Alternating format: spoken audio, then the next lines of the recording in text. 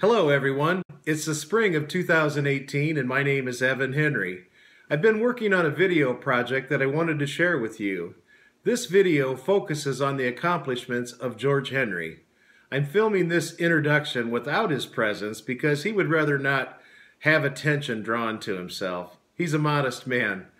But the purpose of this project is to highlight some of the notable accomplishments of my dad's working career.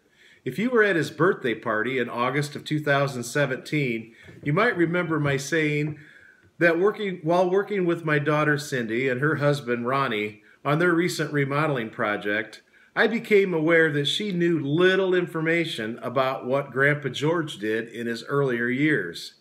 She knew that he was a carpenter by trade and that he was always ready to help on family projects, but she did not know the magnitude of his career accomplishments. I had just assumed that she knew what Grandpa did in his earlier years, but when I thought about it, I realized that she, like most of her cousins, was very young when Dad retired. And at that party, I challenged everyone to ask Dad questions over the next year about what he did during his working career. Now, Dad's rather quiet, and he probably won't offer much information without some prying, so it's my hope that this written information, the pictures that I've included, and the videos might help with that very task. Now, depending on your relationship, you might call him George, you might call him husband, friend, brother, dad, or Grandpa George. That's what my grandkids like to call him. But from here on out, I will refer to him as dad because that is my relationship to him. No matter what your relationship, we can all be proud of dad's accomplishments. On a much smaller scale, I followed Dad's career choice and supervised many construction projects. He was a super tough act to follow. In the early years, I was often reminded by fellow workers, men that knew Dad, that I wasn't doing it quite the way that he would have done it. It seemed that everybody in the local construction industry knew Dad, and he was very well known for his knowledge, his honesty, his fairness, and the fact that he would never ask anyone to do something that he wouldn't do himself. Now, Dad has been retired now for over 25 years, and it's rare that I run into anyone who was fortunate enough to work with him. I actually never got to work with him very often on commercial projects. I got to work with him more on family projects. I did have the opportunity to work with him at the Marriott's Hotel project, the Crow Chiswick Building project, and also Walt Disney Elementary School renovation project. On those projects, I saw firsthand why he was so much respected. I think Alan Limerick, my brother-in-law and dad's son-in-law, actually got to work with him more than I ever did. Alan is also a carpenter and a superintendent and has supervised many sizable projects. His son Joel Limerick is now doing the same thing. Now I apologize for the formality and for the use of last names, but keep in mind that someone might stumble across this information years from now and not know who I'm writing about if I leave out the last names.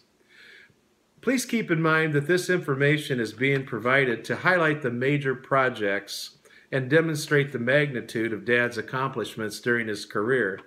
Many of us drive by these buildings today and don't even know that he was the man who coordinated and managed the construction of these large projects.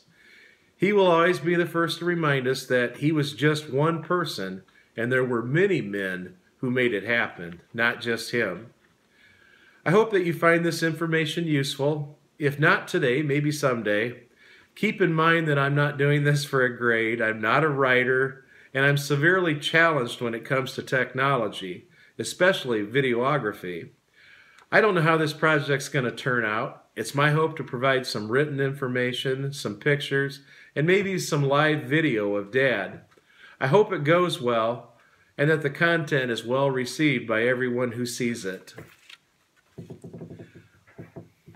Now the dates on the following pages and the dates that are mentioned in the videos are approximate, and the projects mentioned may not be in the exact order of completion.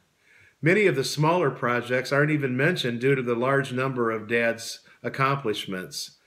Let's start off just by listing a few of Dad's major employers.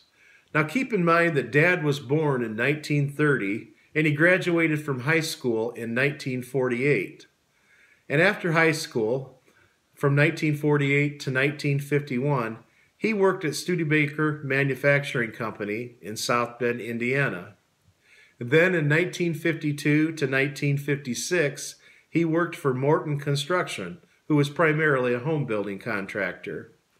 And then in 1957 to 1992, he was a member of the Carpenters Union Local 413 out of South Bend, Indiana. He worked for multiple union contractors, including Roseland Construction, Hickey Construction, Solid Construction, Ermshire Construction, and Casteel Construction.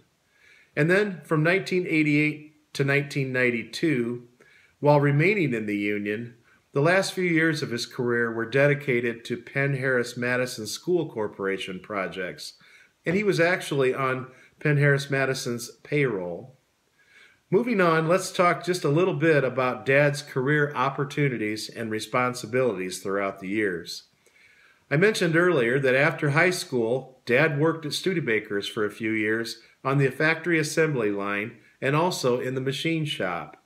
He soon learned that confinement inside of a factory building was not for him. And inspired by a desire to work with his hands, he decided to pursue a career in carpentry. Now, his grandfather Martin, on his mother's side, had been a carpenter who actually worked on the Notre Dame Golden Dome. Now, in those days, wooden scaffolding was used instead of steel scaffolding. Carpenters would actually build the wooden scaffolding as the job progressed. But in Dad's early years as a carpenter, he worked for Morton Construction and was involved with primarily residential home building. Well, after a few years of that, he soon learned that this too could become repetitious. Just ask him sometime about building hip roofs and how many of them he did. He also became annoyed by the multiple changes requested during the course of a residential project. So, later he worked for Roseland Construction, where he mostly was involved with insurance and restoration work fire, wind, water damage, those type of things. Well, as his skills were honed, he worked for other contractors and began to work in commercial construction, eventually arriving at a level where he was very much respected as a construction manager and or a construction superintendent on large multi-million dollar projects. This page, page 3, lists many of the projects that Dad worked on, but certainly not all of them. I will use this list of projects later when Dad and I have a discussion around his kitchen table. I will also include this list as an attachment at the end of this digital video.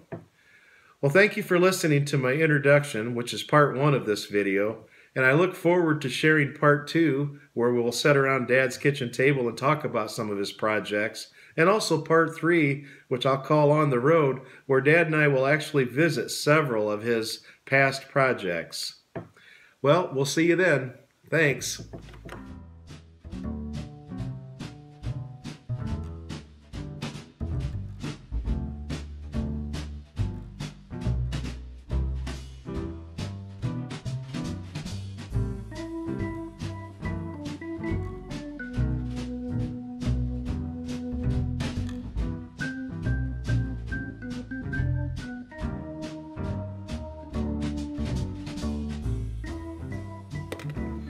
Everybody.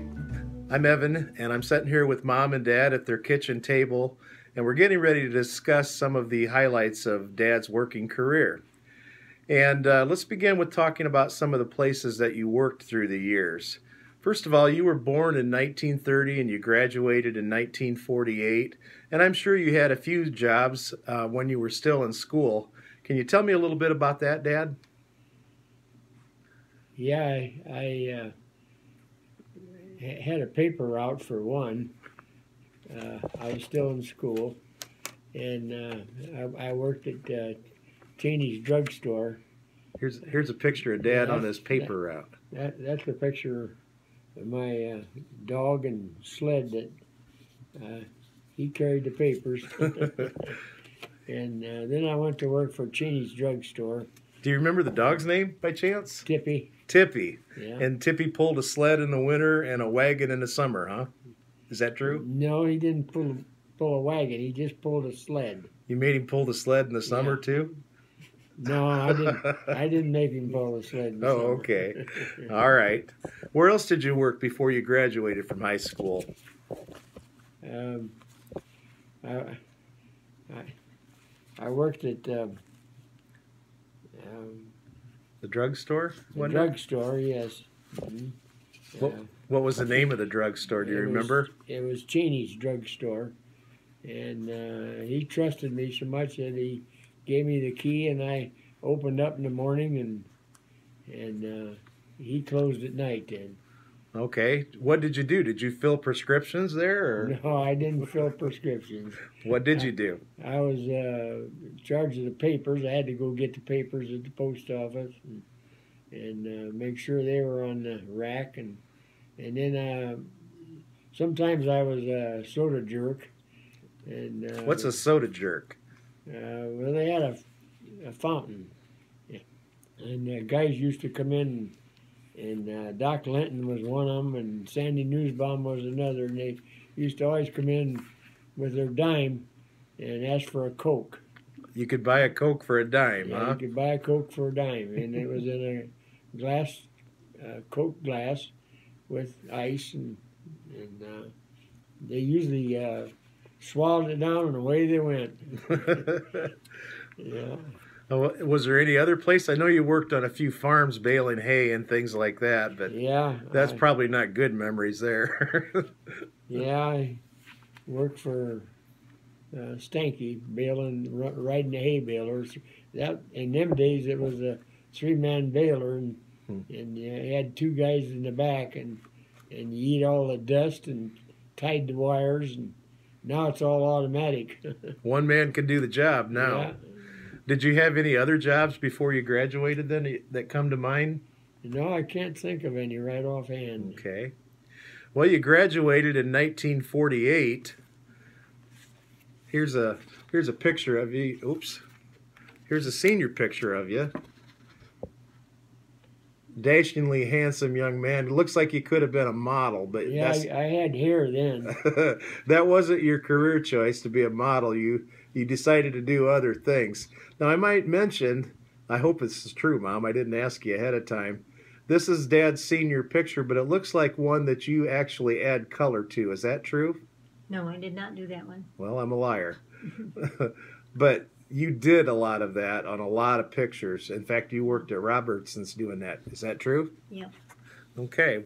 Well, we'll, we'll cover that in a in another video someday. I hope to do one about mom and some of the the notable things that she did. And then um, also then in 1948 you graduated and your first job was at Studebakers. Is that true? First real job, if you will. That's true. And that was short lived from about 1948 to 1950. And we'll talk about that in just a minute. But in 1950, um, you, you found your bride. Here's a wedding picture from 1950 mom and dad. Yeah. I still got her. You still got her after how many years would that be? Uh, I don't know. They never taught me that. what it be? What would it be? 68. 68 this year, yeah. And that was uh, what's your wedding date? You remember? January first. Never forgot it. He had to pick an easy one so he could always remember that. 1950. 1950, January 1st. And then um, about that time, then, you did work at Studebaker first off from 1948 to 51. What kind of things did you do there? Uh, I worked out at aviation plant on the truck line, and the rear springs on these big two-ton trucks were so darn heavy. It took two of us guys to lift them, and uh, they usually picked the new guys for that job. but I didn't. I didn't stay on it too long. They moved me down the line. Moved- I, I was kind of light for that. A little bit too heavy a work for you, Yeah. huh? I know you also worked at, um, like in the, was it Tool Crib or what was it? No, in the machine shop, wasn't it? Machine shop, yeah. Yeah. And, and that got boring because it was repetition, the same thing over and over um, on the piston line. So is that primarily why you chose to leave? It just too much repetition? Yes, mainly. That was because I know your father worked there. Was it forty six years, Grandpa? Yeah, Grandpa Everett Henry. yeah. Was that, it- was- that and he got pretty upset when I left, but he got over it. they wouldn't even sell me a new car at that time. That was back when cars were hard to get, and he got one. They wouldn't sell me one because you had to be there a year, and uh, I wasn't there a year yet. So, uh, So, so the Studebaker days were kind of short lived for you, yeah, and you decided to move on into carpentry. yeah. And who was the first person that you worked for when you decided to do that? I worked for Morton, Morton Construction. Morton Construction, and that was primarily about 1952 to 1956. And what did what did uh, Morton Construction do mostly? It, it was mainly houses, and they got so it was repetition and same thing over and over again, and I got tired of that. So I uh, Har- Harold Harold Kaser stopped by and wanted to know if I was interested in going to work uh, with him. So I went to work for uh, Roseland Construction, and I was there nine years.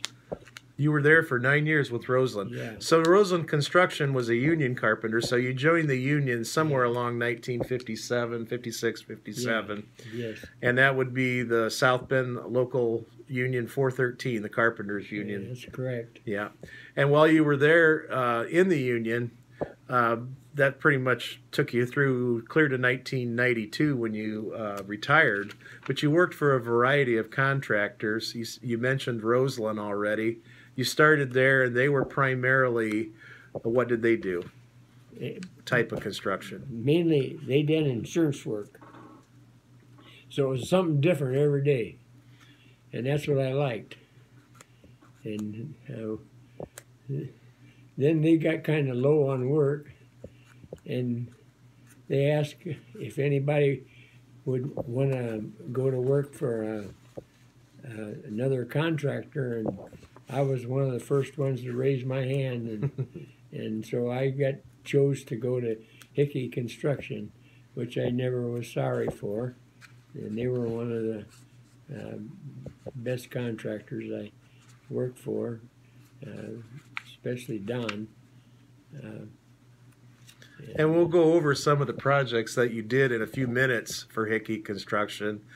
But what are some of the other contractors that you worked for once you joined the union? Yeah, I worked. I worked for Solid then after Hickey's. I think I worked um, nine or ten years. I think for no, maybe more. I don't remember. Well, we'll cover that in a minute Yeah. when we go over the list of projects that you did. But you also worked for another contractor Yeah, that Solid went out of business, and Hermshire out of Fort Wayne took over uh, Solid's projects, and I was on uh, Elm Road School at that time. okay. And uh, then I worked for Casteel after I retired. yeah. Oh, they didn't have to pay you then, huh? Uh, no, they had to pay me.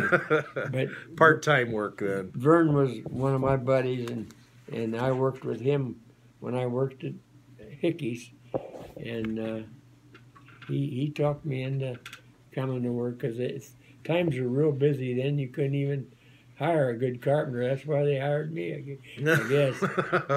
There- you weren't their first choice. Yeah, I, Yeah. I did a project at the hospital. Okay.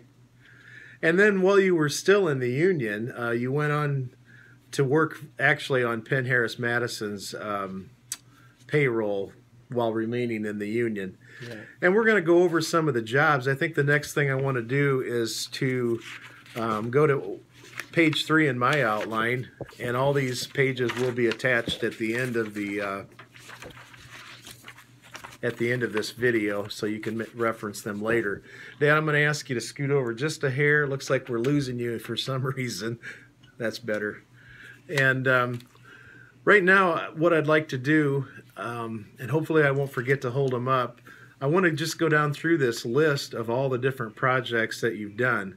Now, let me correct myself. It's not all of them because there are just too many to mention, but this is some of the ones that came to mind when I asked Dad to help me create a list. And um, the first one we've already talked about, where you primarily worked as a carpenter doing the residential housing projects for Morton, and that was uh, 52 to 56. And another one of the projects that you remembered doing for Morton was Thorpe Boat Sales Building. And I don't know where that was, but that was one that you mentioned. Where was that? It was out on uh, the way to uh, the mall. Uh, University Park Mall? Yes, Okay. you go by it every time you go out there. Is it on what we call Grape Road then, or? I think it's 23. Oh, okay. Well, you'll have to show me sometime. Yeah. Um, we're going to do some videos later. Um, I doubt if we'll be able to stop at nearly all of these at all, um, but we'll stop at some of them. You already mentioned from 57 to 66, then you went on to work for Roseland, and that was primarily as a carpenter, not a superintendent yet. Is that Yeah. true?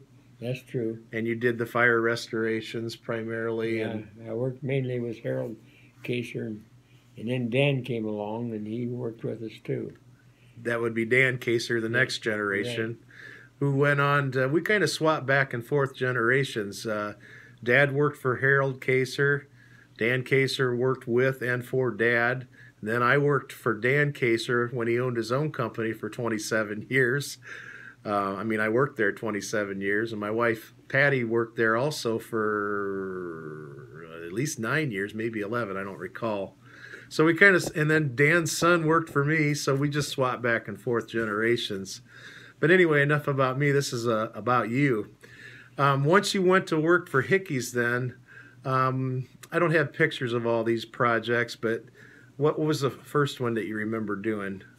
Mm, One of the first ones, anyway. It was a HUD housing project, and it was uh, 98 units, Whoa. but there was seven different locations in Elkhart, and it kept Harold and I busy, uh, just running from one to the other. I imagine it would with 98 Yeah. different homes to build. Yeah. So, yeah. And then you stop me anytime you want to elaborate on something here, but I'm going to just keep going down the list.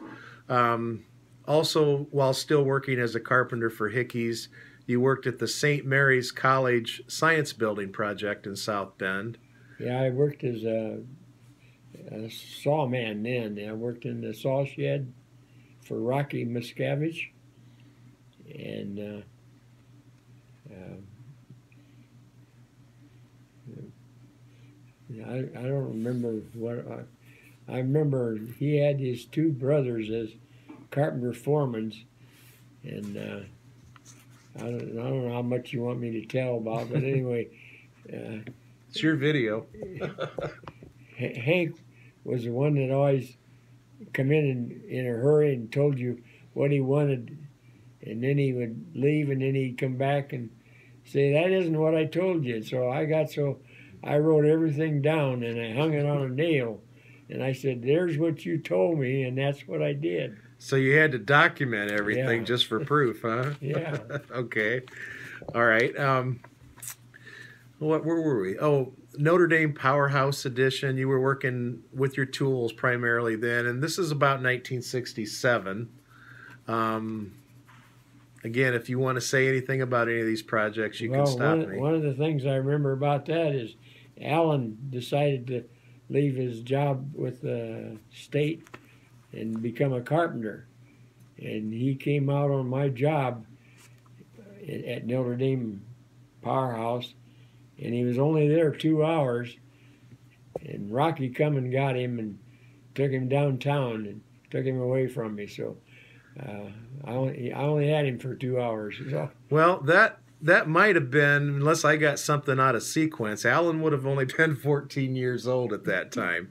Now maybe I got something out of order, or it was the Powerhouse edition that Alan helped you with. Does that sound more like yeah, it? Yeah, that's right. Okay, so so Alan, I know you're a hard worker, but I don't think he started No, working at night at 14 years old. no. That's all right. Um, don't want to contradict you, but I think we got something wrong there. You also worked at the Notre Dame Science Building remodel in 1968. And then uh, that pretty much was a turning point after that project From there on, I have you listed pretty much as a superintendent for Hickey Construction. Yeah. And that pretty much means um, instead of working with his tools, for those of you that have never worked construction, he turned into supervision and he, what we call, ran the project as a superintendent.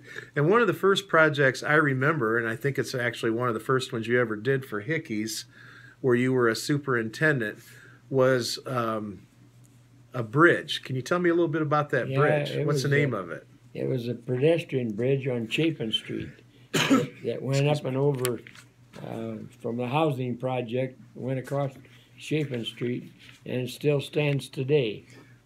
And uh, I actually got some some pictures of this, Dad, and I'm gonna hold it in front of the camera. They won't be able to see you, but you can peek around the corner if you want. Um, hopefully, that's the right one. Some of these are recent pictures. Get it just right here. Some of them are recent pictures, and a few of them are. You only had two of the original construction. yeah, that's that's it over there. Yep, that's the bridge. Um, this one right here by my finger is, is like showing the whole bridge, and that's a recent prick picture that we actually took when we were doing videos. I got to tell you about this one. This one here is, is when we were working on overtime uh, that night with a crane, setting the last part of the bridge, and Mom baked a cake and brought it up there, and I had some pretty tough iron workers working for me, and we fed them ice cream and cake. And Joe Hickey, the word got back to the office about it, and here come Joe Hickey out there with a camera, and I thought, oh, here's my last job, but he didn't. He laughed about it. I'm going to elaborate on that just a little bit. Why don't you get a drink? You're getting a little scratchy there. Um, I I remember that day. I would have been what seven or eight years old. No, maybe a little older than that. But I had a dentist appointment that day, and actually was in the car when Mom dropped off that cake. Now, again, for those of you who don't work construction, construction workers are kind of stereotyped as being a rough bunch, all a bunch of beer drinking uh, guys that whistle at all the girls walking by. But um, Dad obviously is not that type of a person. And normally, when you top out a building, you top out a building, you have a topping out party. And that's kind of what this was that day, is it not? Yes, it was. But instead of having a big They wanted beer, but yeah, they wanted a beer bash, but instead of doing that, Dad had Mom bring a cake in, right? Cake, and, ice cream.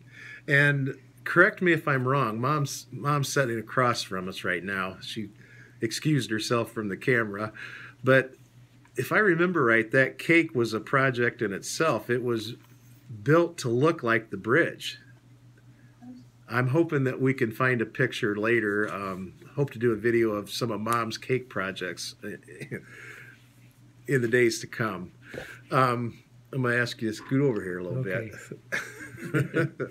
but anyway, I do remember that, and it was uh, it made an impression on me as a young man. You know, that Dad was wanting to have the party and celebrate the fact that they had topped out on this bridge, but it it was uh, a party that had cake and ice cream instead of the traditional beer bash. So, anything else you want to add? We got some video that you're going to see in the next segment uh, of that bridge. We visited it, and in case I forgot to mention it, uh, Dad and I just visited it the other day and took the videos. After 50 years, it's been 50 years since that bridge was built. We could not find one crack in the concrete. So Hickey Construction, as well as Dad and all the workers he had, must have done a really good job. And uh, I think the warranty has long since expired, but we couldn't find a crack anywhere, could we? no. The thing, the thing that I remember most about it was I had problems with it, where it flared out at the top, clear at the top where it met the bridge. And I had Rocky out there and I had Vern Casteel out there, and both of them walked away and said, You figure it out. I, I never did forgive them for that. no, but it made you think about it, and and it was a turning point where you took the bull by the horns and made it happen, right? Yeah. Yep. and it's still standing. and still in good shape. Anything else about the Chapin Street Bridge? No, I, uh, I, I can remember a few things. Uh, I had a laborer, we called him Big Daddy.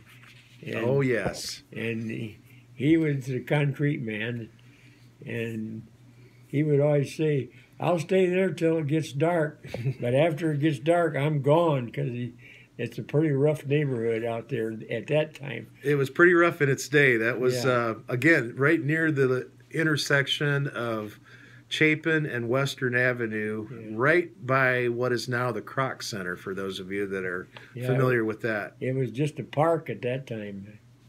Yeah. did I say that right? Yeah. Kroc Center, yeah. Anyway, um, Dad, at the risk of running out of camera battery, I think we better move on. One of the next projects that you did that I have listed anyway, there was probably a few in between, but you spent some time down in Culver, Indiana. Where did you spend your time at down there? Yeah, I spent some time at Dalton Foundry.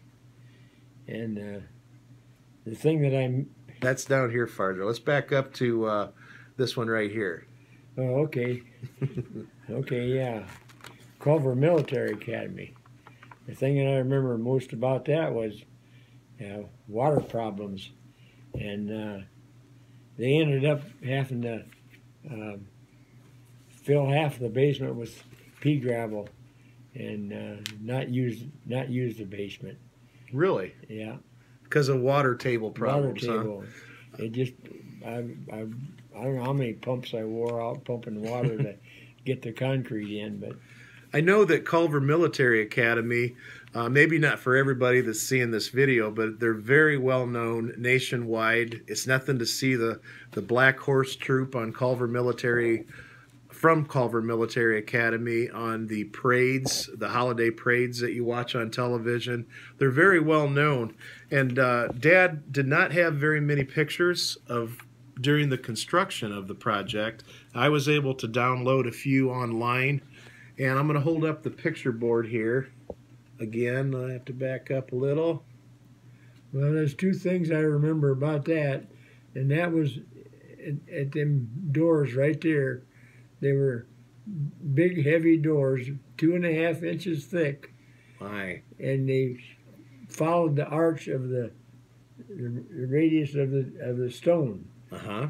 And when uh, Dale Holderman and, and Dan Kaser hung them, they hung them fine, but they went to open and they wouldn't open. Did they swell up or what? No, they hit the they hit the top of the stone.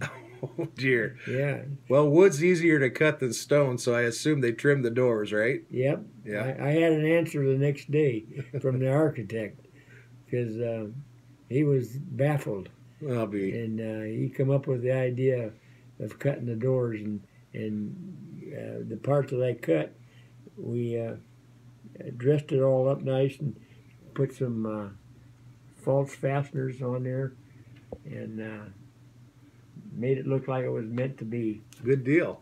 But uh, That building front and center there that I'm kind of moving up towards, that is the horse. What do you call that building? I mean, that's the. That's where the horses and that are. yeah, that's where the horses are. Yeah, and there's a picture of the horse stall inside. Actually, it was a show-off room in the front. Over the part that we added on, it was a show-off room for their trophies of all the trophies that they had won, and it was. Uh,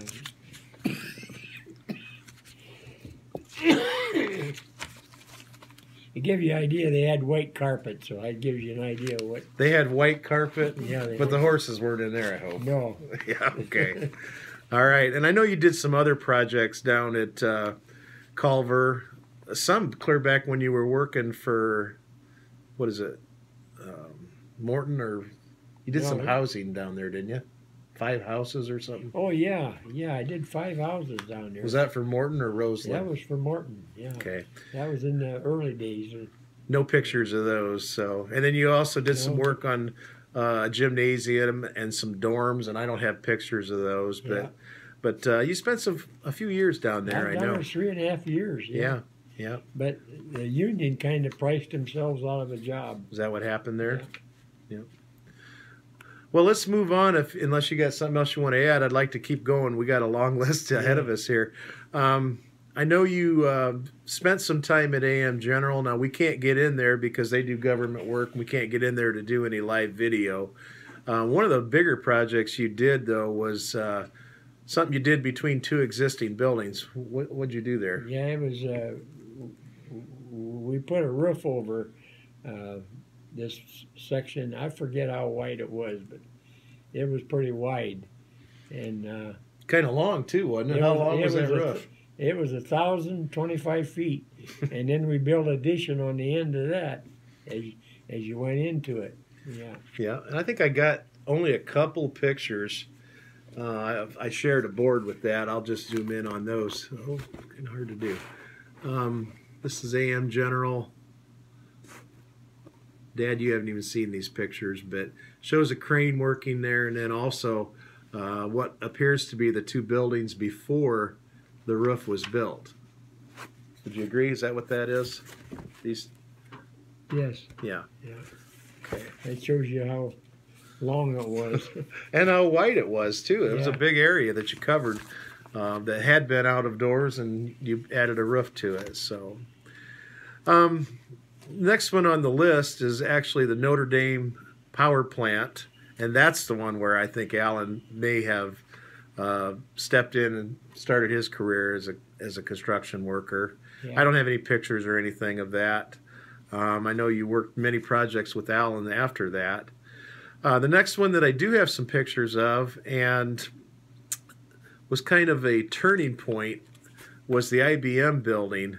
Now, I'm going to hold the picture board up, and while we're showing the pictures, I want you to tell everybody what was different about that project compared to anything that you had had done before. And to the best of my knowledge, it's probably still the only building in the area that's constructed that way. Tell me about it. well, back then it was after the war, and rebar was hard to get, so they decided to go with post tensioning, and there never had been a, a building built in South Bend post tensioning until we built the IBM. what So- were you tensioning? What do you? we we tensioning the concrete.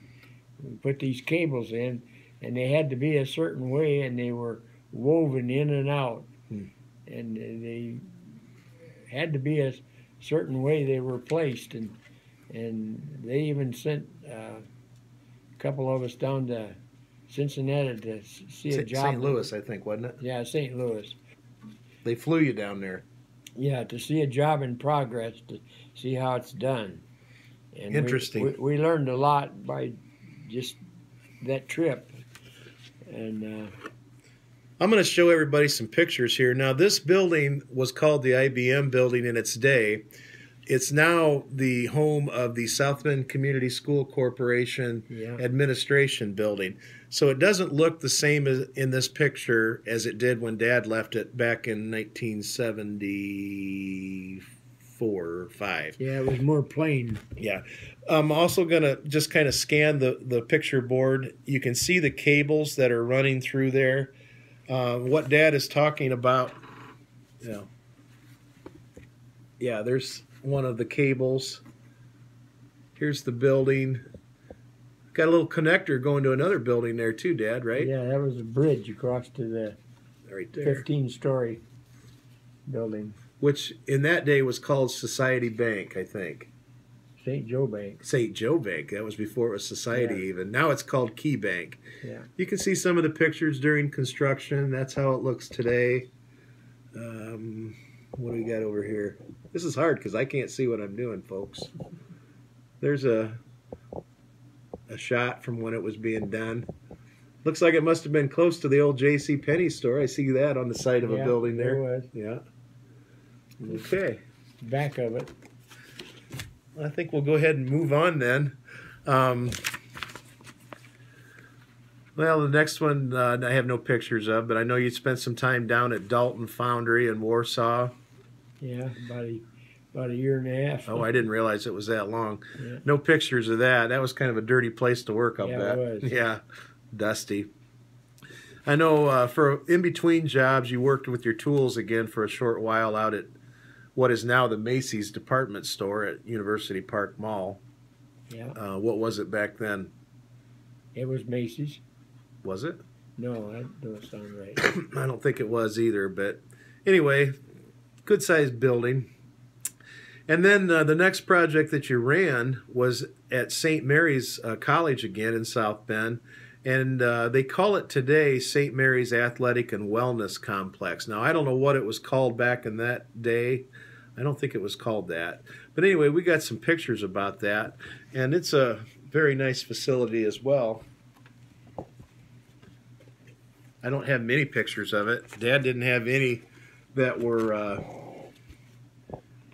original old pictures, but I downloaded a few online. It's basically an indoor gym, it looks like, right, Dad? Yeah, Here's the front of the building. it had a track all the way around it. Up above the gym, Yeah, I think I got a picture that kind of shows that. No, I don't. Thought I did. Maybe that's the one. But anyway, that was a, a nice project as well. Wish I had more pictures of it to share, but I don't. So, you ready to move on, or you got anything else? no, go ahead. Okay. Well, um, one of the next ones, uh, and I don't remember you doing that. It was 1978. It was the year I graduated. I probably had other things on my mind. But you did a fire station in South Bend, and we got to visit that one, and we took some snapshots because you didn't have any old pictures.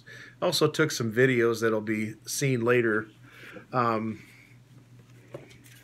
but I'll just share those with you.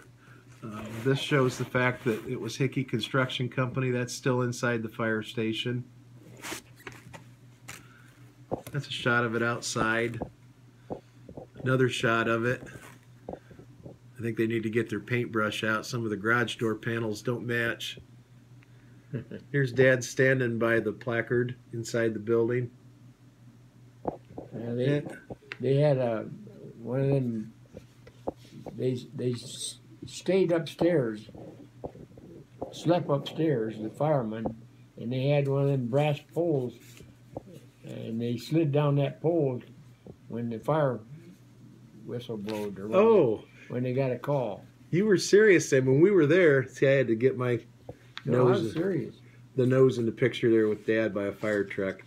Outside there, before I lay this down, there's a, an old tree that they've carved into a fireman. I don't know if you can make it out, but I got a picture of Dad standing by that. And uh, he said he wanted to slide down the pole, and the fireman wouldn't let him. And I thought he was joking, but apparently there really is a, There a really brass is. pole in there. So I wish we would have got in there and taken a picture of that. So, you ready to move on? Yeah, Um, next one I got listed, you did some work out at the Airport Industrial Park, Nimitz Industrial. I don't have anything to share with on that. no, I don't either. But he was a nice guy to work for. That's good. I remember that. It was uh, one of them design and build jobs. Uh, Oh, quickie, you know. yeah. And that was still with Hickey, it says. Yes. So now, um, the next one I have listed that I remember you doing was 1979, 1980. Mhm. In those days, it was called Crowe Chizek, Yeah, and it's called Crowe Horvat. Hor- Horwath, I think it is. Yeah. Horwath, yeah, today, and it's still standing. It's on Jefferson Street. Uh, I think they've added on to it since then. Uh, one of the few jobs that I got to work with Dad on for a few days, not very long. I was working for another contractor that was working on that same project, but Dad was the superintendent over that project. In fact, one of the last projects actually where you were what I called a superintendent, and the rest of your career from then on, you were more of what they called a construction manager. So I'm going to show a few pictures of the Crowe Chizek building. And um, even though they can't see you, you can go ahead and share anything you want, Dad. Little picture board of some of the building under construction and some of the building as we see it today. Pictures we took today. Well, I don't know who that guy is in front of it there. the thing I remember most about that was getting started at the beginning. It was where the uh, old fire station used to be in downtown South Bend, I don't remember that. and uh, Julius O'Neill kept hitting water mains, and he'd flood flood the darn area, and then we'd have to wait till it dried up before we could go on with the the footings. I remember, and uh, it held held us up quite a bit, but we made it through finally. Got her built anyway. Then they later went on to add on to it. Um, I should have had you pointed that out, but Yeah. still standing, still looks like new. Um, actually, when we videoed, which you'll see in the next segment, we parked in the parking lot of Century Center in South Bend, and I found it really cool that standing in the same spot without taking a step, we could film the IBM building to the west of us. We could film the Crowe building to the east of us, and we could film the Marriott's Hotel to the north of us without taking a step. so that was one of the things I pointed out in the video. If you don't have anything more to add about Crowe Chizek, let's move on to the Marriott's Hotel at the risk of running out of battery here. Yeah, go ahead. Um, to me, I got to spend quite a bit of time on the Marriott's Hotel, working for a variety of contractors. I was a going through the carpenter's apprenticeship, but I was working as a laborer because work was really pretty short back in those days, and um, they, nobody was asking for carpenters, so I worked as a laborer on this project, and one of the longest projects that I ever got to work with you on. So here's some pictures of the Marriott's Hotel. Quite an accomplishment. This is one of the first, probably the first job that Dad did acting as a construction manager as opposed to a construction superintendent. Can you explain what the difference is, Dad, and how you feel about it? Well, you just you just had to coordinate the different contractors that was on the job, which some jobs had uh, many, many, many con- different contractors, and you had to coordinate the time when you when you wanted them to move in and To do their work. to do their Yeah. work. Yes. This is a, oh my, 10 story hotel. You can see it under construction there. That's the finished product right there in the center. Big project. Yeah, the thing the thing that I remember most about that was we had a storm come up one day, and uh, uh, I remember running through the building, and I think I was on the fourth or fifth floor. I don't remember which, but anyway, there was block layers up there working, and we were building uh, support well support walls, uh, four inch block, and. Uh, they didn't get down enough, and I think one of them got completely covered up. One guy, but they got him out real quick and got him out of there. But I remember uh, yelling at him to get the heck down. You know. I think, I think I was, no, I was working out at Notre Dame, but I remember that day. Yeah. Is that the day the sky turned Yeah. dark, dark green? Yes, it was. Yep. And uh, on that job, you had tower cranes, which were cranes that were not portable, that were built on foundations. And uh, golly sakes, I'd venture to say they were, what, 150, 160 feet high at least? Yeah, they were different elevations, Yeah. so they would swing under or over each other. And when the operator went up into those, he was there for the day. He ate his lunch up there and everything because it took a good 15 minutes, I remember, to climb up there. Yeah, I Did- made it up there a couple times, but Did you? yeah. Not me. I was on the ground using the radio talking to him. Well, we had a we had a guy that they was having trouble uh, with, and I went up to see what the problem was. Show him how to do it. Did you run the crane a while? Well, no, but once you get up there and see what his problem is, it's the deflection of the the boom. It would it would keep bouncing, oh, and uh, that was their problem. He had to he had to allow for that when he brought the bucket down for concrete. So the, the tower cranes went straight up on a tower, and they um, they a turret would turn, Yeah.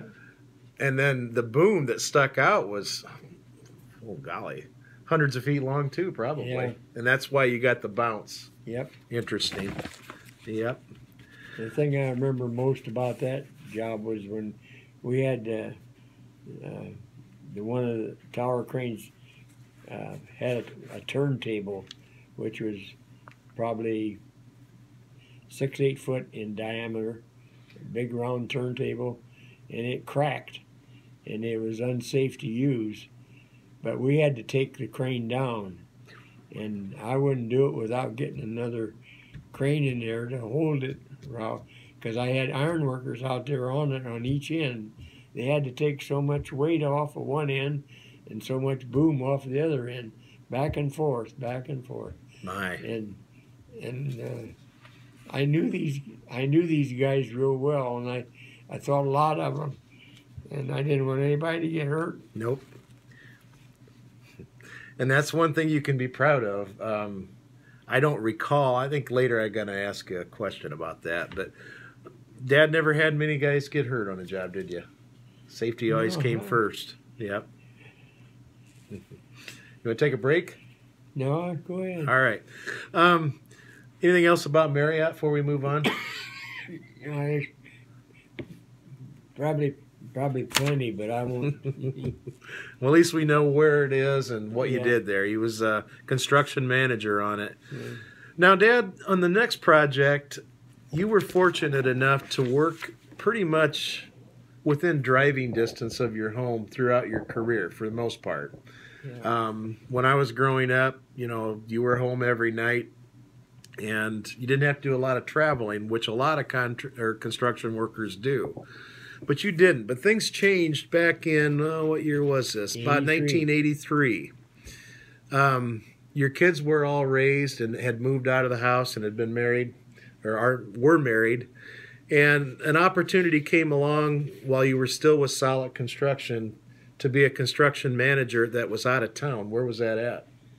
down at uh, close to Cincinnati, but it was called Fairfield, Indiana, Illinois. Excuse me, Ohio. Oh- Ohio. One of those Midwestern Yeah. states. It was Fairfield, Ohio, near Cincinnati. Yeah, and and I made it home every weekend. Yep, I remember. Quite a drive, too. Actually, that was called Woodridge Retirement Home or Nursing Home. I think the name has been changed uh, a little bit. Um, golly, you didn't get to come home every night. What'd you do? Did you sleep in your truck? No, I slept in a motel, but I talked mom into coming down every other week, and we got an apartment. Dad's a little under the weather today. I made him do this anyway. I. Because I, uh, I got tired eating out in restaurants, and she she would cook meals for me, and, and she'd cook some ahead quite a bit for the next week when she wouldn't come. but then our grand, our grand, grandkids were uh, small at that ti- time. Dad's a little under the weather today. Yeah, we, we took turns taking them down there with us. Yeah. And they got a kick out of that, I'm pretty sure, because mom got a chance to take them to, uh, what, what was that? I forgot what. You took them to Place where they could swim and stuff. Oh, like a Disneyland, wasn't it? Or not, not Disneyland, it was something, something like Disneyland. It was, it was, uh, I see a truck there by your trailer. Was that your was that your truck? Tell me about that. That's a red truck. you know, that was the truck that Solid uh, provided after I had mine stolen. Uh oh. We we got up one morning. To, I think it was the morning we got up to come home that day. It was on a Friday, and uh, my truck was gone. So you were in your apartment. We were Which- in apartment. We didn't elaborate, but they had a full blown apartment that they stayed in during the week down there. And of course the trucks his truck stayed out in the parking lot and somebody helped themselves to it one night. Huh? Yeah, Tools and all. Tools and all. Yep. I remember that. Yeah. Anything else? Uh, later, I got a couple questions I'm going to ask you about this project, but um, that pretty well covers it. It was a very large building. Um, anything else you want to say about that? Well, it was real similar to the building here in South Bend. What's the name of that one? Uh, Topsfield? Oh, Yeah. yeah, it's called St. Paul's today. Yeah. St. Paul's. Yeah, leaning a little bit here. It was pretty pretty similar to that, but Yeah, not identical. big retirement. Yeah, Oh. big retirement. Yeah. Same company. Oh, really? I didn't know that. Yeah. Yeah, they built one in South Bend, one in Indianapolis, and one in Fairfield. Fairfield. And I wasn't lucky enough to get the one in Indianapolis. Dick Nelson run that one. Was it Fairfield? Fairfield? Is that right? Yeah, Fairfield. All right. Well, moving on. Um, from about 1985, then clear through your re- till your retirement in 1992, you pretty much dedicated yourself to Penn Harris Madison School Corporation projects. Yeah. And the first one that I have listed here is what? Madison. Madison. You remember it, don't you? Oh yeah. Yeah. We got to visit that when we were doing some videos earlier. And I've got a few snapshots. Unfortunately, we couldn't get into any of the school buildings because they're on spring break. So I'm going to show you a few pictures of it. Hope it's the right board, is it? Yep. You'll see uh, Dad standing by the sign out by the road, which I assume was part of the project. I know playground was part of the project. These are finished finished pictures. That's the gymnasium. In a minute, Dad, you'll have to tell them. I know you saved part of it. That's a corridor looking down it.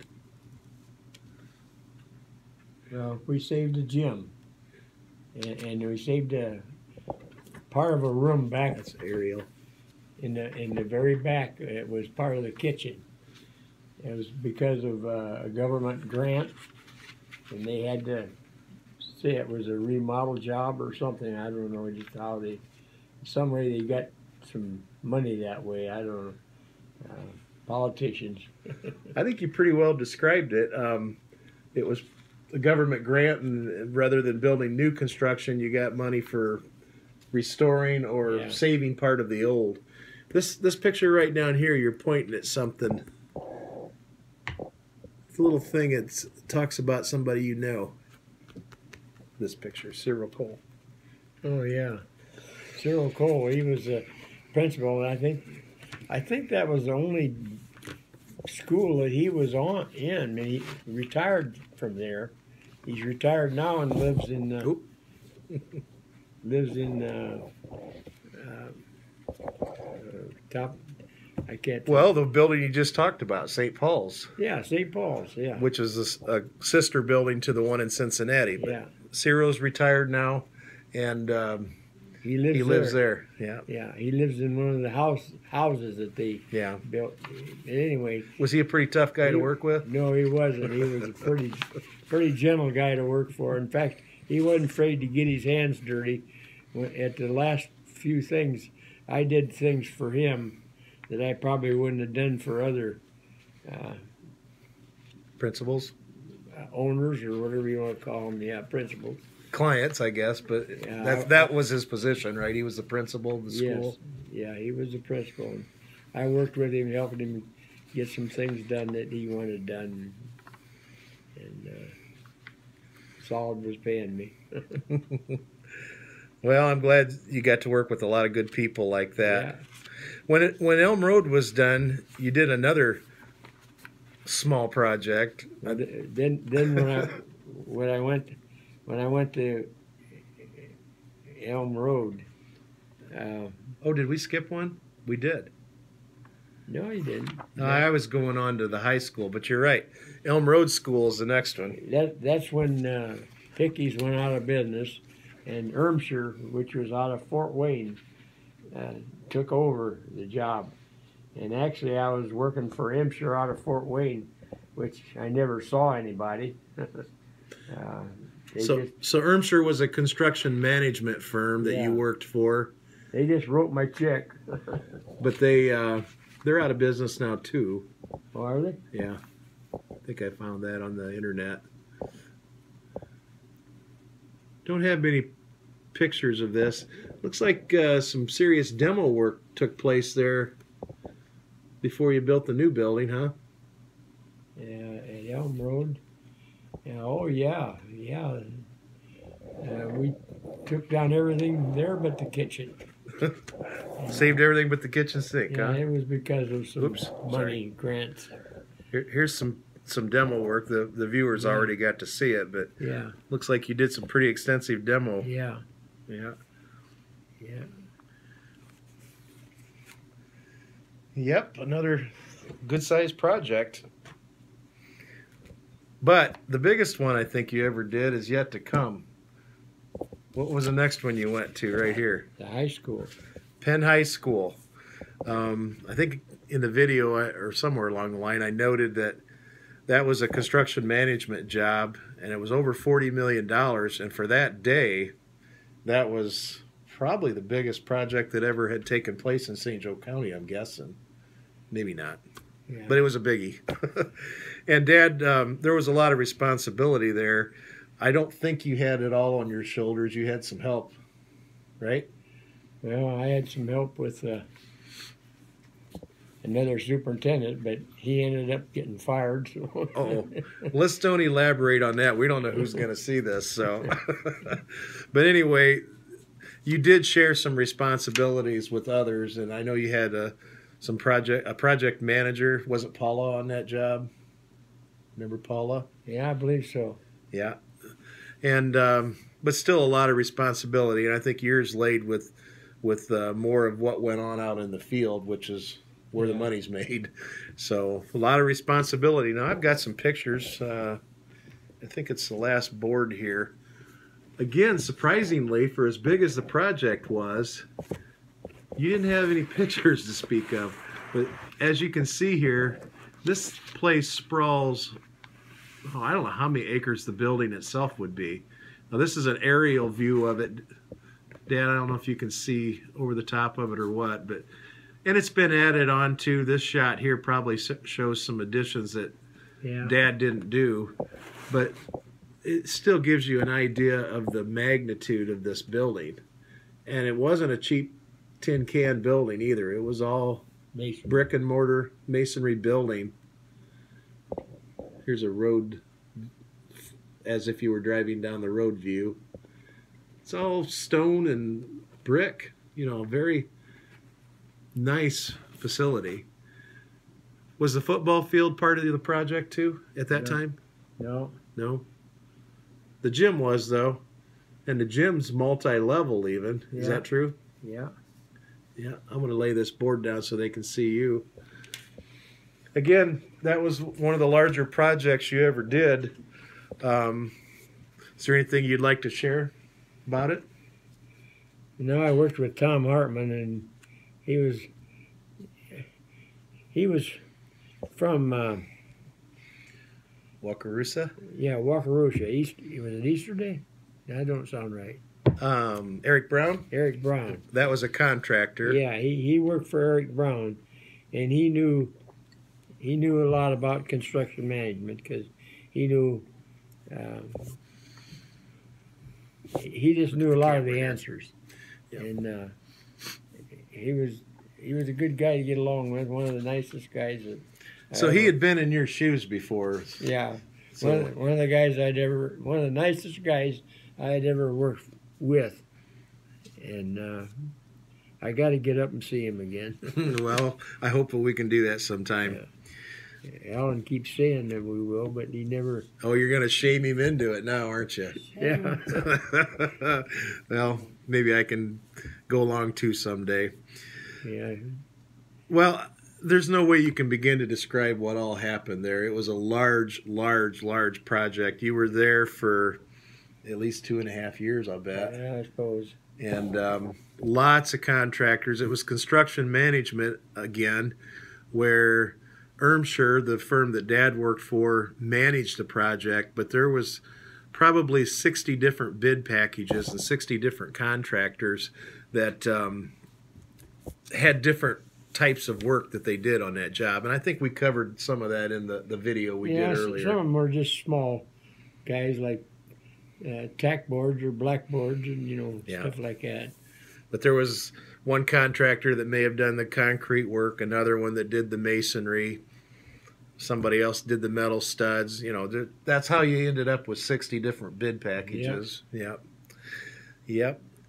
Well, you got a few more Penn Harris Madison's uh, projects here, and they were what you called smaller projects to end up your career. However, by most men's uh, standards, they were large projects. And I know you worked at Schmucker Middle School, right across the road from Penn High School, Yeah, and you worked at Walt Disney Elementary School.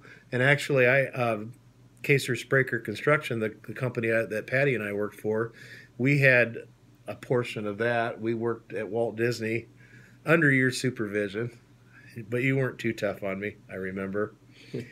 And you also did some work out at Grissom Middle School, and, and I've worked at all these schools too. We used to do some capital improvement projects. And then uh, the last couple of years, I think you just did some minor miscellaneous work for the uh, the corporation as well. Is there anything else that you'd like to add to this very lengthy list? And we didn't run out of battery yet. What do you think of that?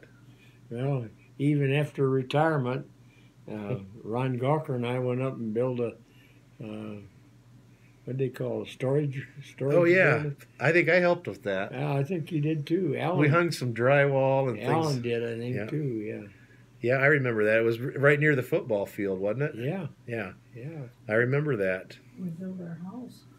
Yep, we covered that in the video pretty well. Um, I've got a list, and I kind of went over that in a previous video that I did, an introduction. Um, actually, I've got some pictures of those. What else did we forget? I think a list of questions I wanted to go over with you, Dad. Let's go to yours. I think you got got it right here. Mom mentioned that they built a house, and um, golly, I did cover this in a pr- earlier video, and Dad bought their first home and fixed it up. Built him and Mom built the home that we're setting in right now. Yeah, yeah, we covered that in a video too. Um, that was about the time Mom was carrying me, and I. She said I helped shingle the roof, but I think that was her up there doing the nailing. But anyway, um, many many projects other than the commercial ones that we just went over in this segment of the film, and um, I do have a couple questions I want to go over with you, Dad, if I could. Um, after all this video work and, and talking to you around the table here, you got a lot of projects to be proud of. I'm going to ask you, what was the most rewarding project of your career and why? Or if you can't single one out, just tell me a Well, I don't know. couple of them. Most of them were rewarding when you when you really completed them and and mostly made them happy. But So it was kind of neat helping other people's dreams come true, is what you're Yeah. saying, right? Yep. yeah, Um, any particular client that you got a lot of sac- satisfaction? You already mentioned Tom Hartman in that, but yeah, he was. I respected him Yeah. highly, and uh, Well, somehow along the line you got a few gray hairs, and I'm hoping mine doesn't turn gray. But- If it does, I did the same thing for many years too that Dad has done. But what was probably the most stressful stressful project that you had ever tackled? Uh, Marriott was probably the, was one of the most stressful because we had a. Did I mention about the tower crane cracking? Yep, you did mention Yeah, that a little okay. earlier. So that yeah, I mentioned That- that, was pretty sleep at- stressful. I didn't sleep that night because I worried about getting that crane down. Yep. And having to put guys out there. Yep. Well, that was a thirty some million dollar project, which I don't know what that would be in today's money, but Probably, probably three times that. probably large project, a lot of stress. And I think you may have already answered this one. Uh, I was going to ask you what was the worst weather related incident on a project that you can remember, but I think you pretty well covered that.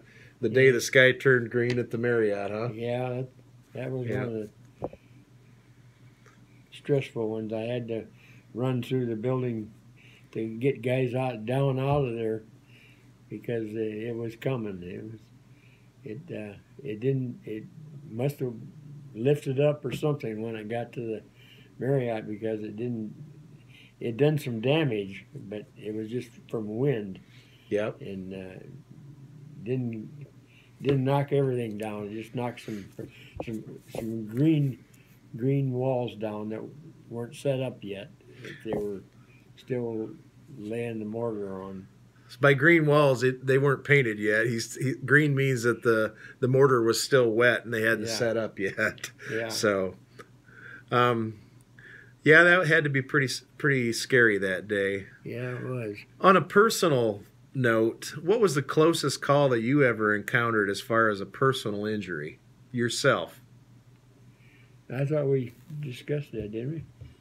Uh, was- Not on film. I think we did. Okay, it was it was out at St. Mary's Powerhouse, and I had some old scaffold that should have been junked, that was been repaired or been welded, and one of the welds broke loose, and I was standing out in midair, was hanging onto the um,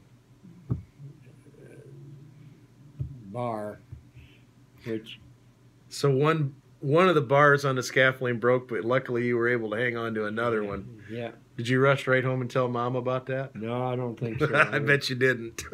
She's over here acknowledging that, that it happened, uh, but I think she just heard about it. So I, I can remember right where it was, and yeah, I remember the scaffold, and, yeah. and uh, it got dumped right away.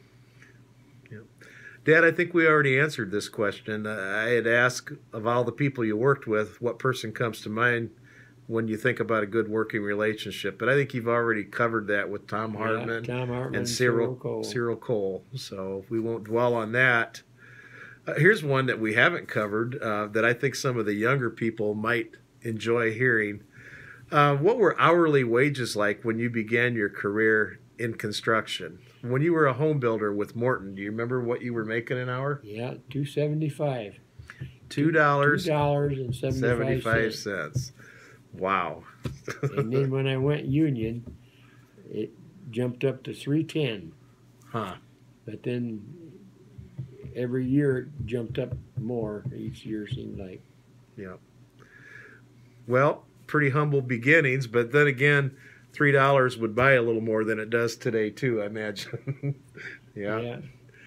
Yeah, you always had blue trucks, at least the ones you owned yourself. Um, Yeah. 69, I think you got a new one, didn't you? I know you drove a 69. What what might that truck have cost? Do you remember? Sixteen hundred and Yeah. some dollars. I think that's what I've heard you say in the past before. Yeah. So so the dollar did go a little bit farther, but it was still oh, yeah. still a pretty low hourly wage, wasn't it? Yeah, but, but then I then I bought a another blue one when I was down at Warsaw 73. and yeah, seventy three. Two I forget two what. I paid for that. I think it was it sound like six thousand, maybe six thousand. And when I come home, I remember Mom asked me, "What do you think you are, the president of the company?" Uh oh. Now listen, let's don't get into an argument on the video here, okay? yeah, you had a lot of a lot of different blue trucks through the years. Um, next question, and I think we're getting low on battery here. Obviously, this many years, you've seen some changes regarding construction work and procedures and how things are done. Have tools changed through the years? Definitely, tools have changed. Yes, we didn't have uh, uh, screw guns like we got now, and and concrete uh, drills that would drill uh, practically any size hole you wanted in concrete. Used to have to do it with a star bit Star huh? bit, yeah, and a hammer. And hammer, yeah. And as far as that goes, um, you always hear about a carpenter and his hammer and saw. I doubt that they use hammers as much as they did back when you started, do they? Everything's Yeah, everything's power. everything's pneumatic or Yeah. or uh, power actuated of some kind. Yeah, Yeah. and even saws. Um, I always remember you were always protective of your handsaw. Yeah. I rarely see a handsaw on the job anymore. They got little portable Yeah. battery operated saws now, and most carpenters probably don't even have one in their toolbox. So, so tools have changed. Anything else about tools? No, I can't Yeah. think of anything right offhand uh, other than um, s- like cell phones and and uh, uh, computers and uh, answering machines and all that is You didn't have all that when you started. no. well, cell phones sometimes can be a pain in the neck to have strapped to your side, but yeah, even even when you were down in Cincinnati, did you have a cell phone? yeah, You did. yeah. I had a cell phone. Oh, I thought that was the job where they could never get a hold of you, and they were, you thought you were going to get fired for it. Well, I never answered it. Oh. I didn't know that. But anyway, when you first started out, they didn't have things like cell phones and mm-hmm. faxes and email and computers. So, well, I suppose some of these changes have affected things like schedules too. Do they get as much time to build a building nowadays that as they did when you first started? you know, all they want's quantity instead of quality. They want I think they want both. Hmm. Yeah, Yeah, it's it's changed a lot in the sounds like it. 25 years since I've been with her. 20 some, I don't know, 25 or 26. Oh, a little bit more than that. Oh, wait, since you retired, you mean? Yeah. Well, 26. Yep. One couple more questions, and then we're going to sign off for a while. Um, earthwork procedures when you were in Ohio, were they different than they are in Indiana? Definitely, it was in Ohio. There was all rock, and I wasn't used to that, and I, I couldn't. I I got awful itchy because I was three months before I could do anything, and then I couldn't even form the footings. I had to just use the rock as forms and and set some grade stakes. Stakes. And if it took an extra yard or two, it took an extra extra yard or two. But I know it took more than what they'd figured on. Yeah, of course, it costs money to form up footings too, but Yeah, But around here in Indiana, we have sand and gravel, and you can dig in it easy. Uh, what Dad is saying is, of course, they knocked off about a 25 foot high mound of dirt down there too to build this. Is that true? Mostly rock. Yeah, and I know, I remember going down there to visit. There was enormous equipment. They even had bulldozers that were connected together hydraulically, so one operator could run two machines at the same time. Yeah. Remember that? Yeah.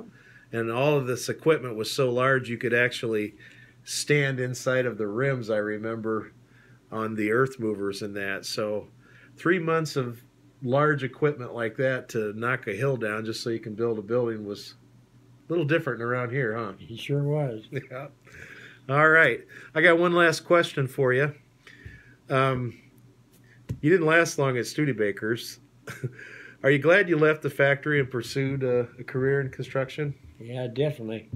It was something. It was something different every, practically every day, and that's what I liked about it. it you never knew what you was going to be doing tomorrow. Yep. Sometimes. Well, I think it was been pretty good to to you, and you've been pretty good to it. And that's about all I'm prepared to talk to you about right now. If you don't have anything else you want to add, No, I probably forgot a lot, but well, it's hard to cover it all in a video too. Yeah. But well, the next portion of the video that we're going to be doing is uh, a segment that I called "On the Road," and it's where Dad and I actually it's already been filmed. We're doing it out of sequence here, but uh, where we're going to go around and visit a few of his past projects. Certainly not all of them, but I'm uh, looking forward to sharing that with you And I guess we'll see you then. Tell them goodbye. Goodbye.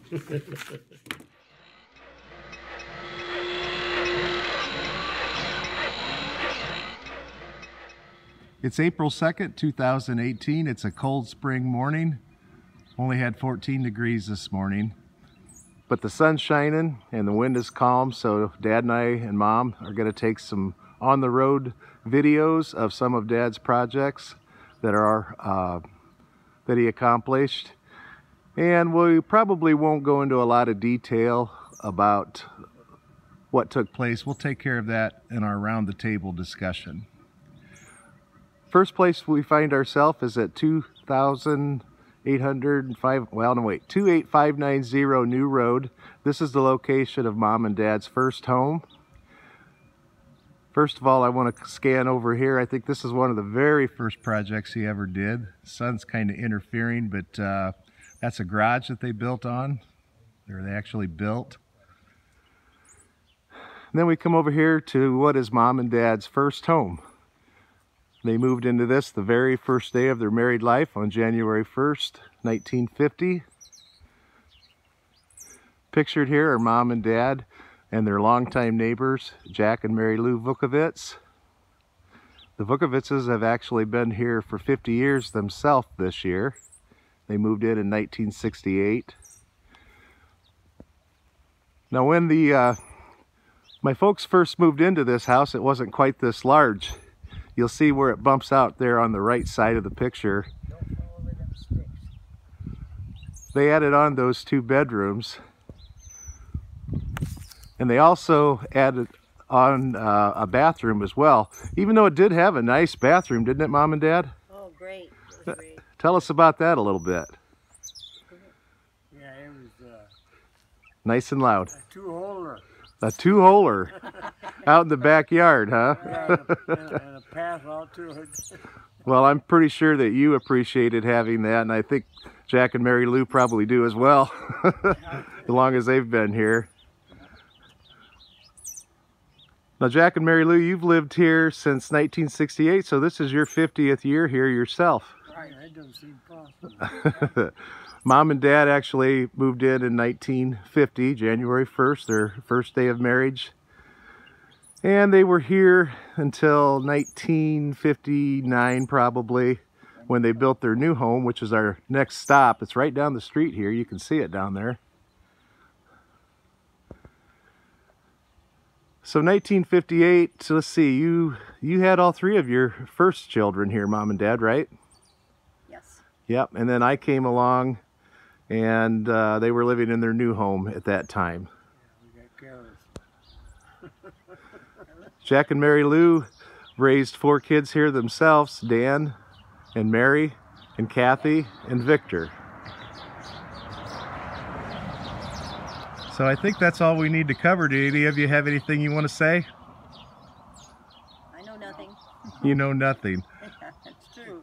Primarily you just kind of fixed this house up as your first home and did some painting and of course added on like I mentioned. So, well, if you don't have anything you want to add, we'll just consider that a, a take.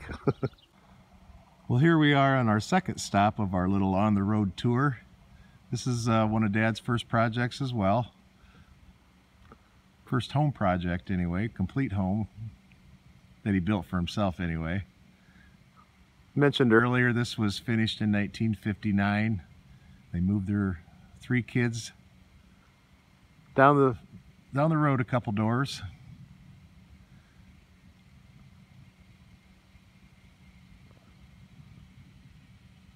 Nice shed that he put up later. Back in the back.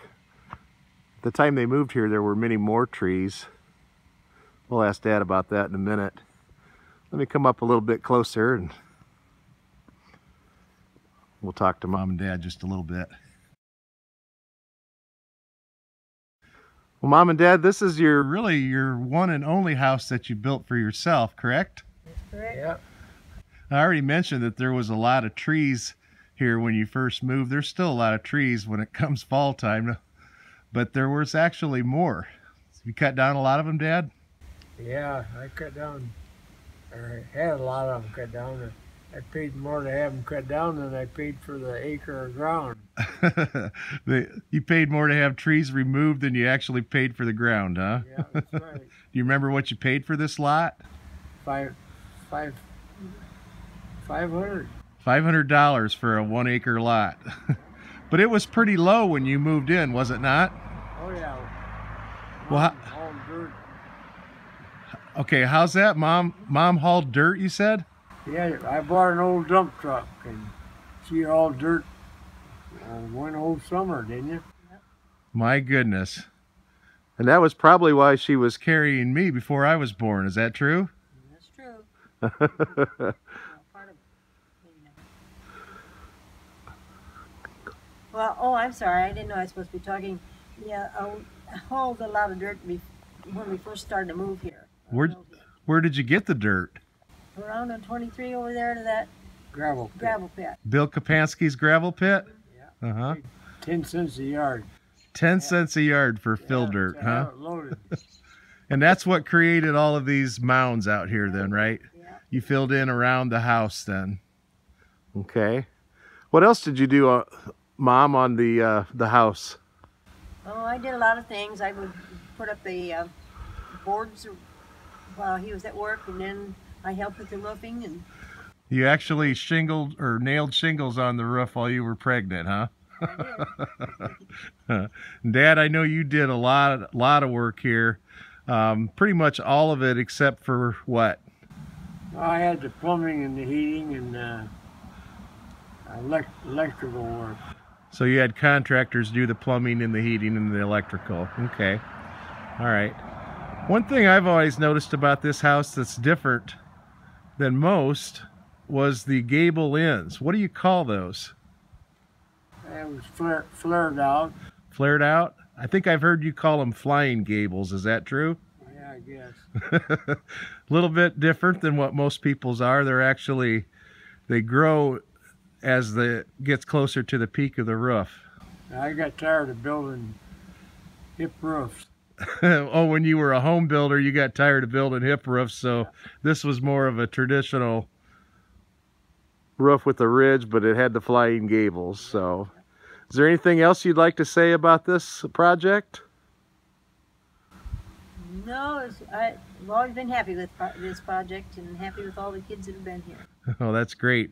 We still come here. In fact, we were here just yesterday for Easter, and uh, the whole family didn't get to come this time, but it's grown from the two of you to up over 40 people now that show up for dinners and so forth. So, well, I I guess you must have been happy with the project because you've been here almost 60 years now. So, well, if you don't have anything else to say, we'll leave it at that. Okay. That's okay. We appreciate that. Well, here we are on another stop on our on the road tour with another one of Dad's projects that he built probably in 1968, somewhere along in there. This is the pedestrian bridge that spans over Chapin Street in South Bend, Indiana. Dad's in the foreground here. You can see the bridge in the background. It's pretty cool the uh, the ramps are all spiral and they turn go up and over come back down traffic you see underneath is uh, heading north and south on Chapin Street let's come in and talk to dad a minute oh the sun's kind of getting in us here now dad but this is Chapin Street Bridge, Dad, and this is, uh, who did you work for on this project? Do you I remember? work, worked for Hickey's. Hickey Construction. Yeah. Is this probably one of the earliest projects that you ever did for them? I, I think it was uh, by myself. Yeah. Yeah. Who was your general superintendent that was over you on this project? Rocky Miscavies. But he was pretty much in the office and you were probably uh, had the responsibility out in the field by yourself. Is that true? I, I asked for help when I got to top of it, and he said, "You figure it out yourself." he told you to figure it out all by yourself, huh? Yeah. Well, it's certainly a neat project and uh, one that I remember from when I was just a kid. Gosh, I would have only been about eight years old. So I know there's some other stories about this that we'll get in more detail uh, when we talk about it when we're sitting down at the table at home. Anything else you want to say? No, So at this time. Okay. Okay, here's Dad at the base of the Chapin Street Bridge. Who put that fence up for you, Dad? Do you remember? Yeah, they were shoes. Schul Fence Company out of uh, South Bend here. Yeah. Here's what holds everything up, the base of the bridge.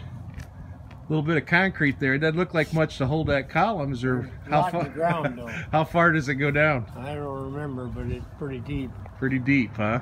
Yeah.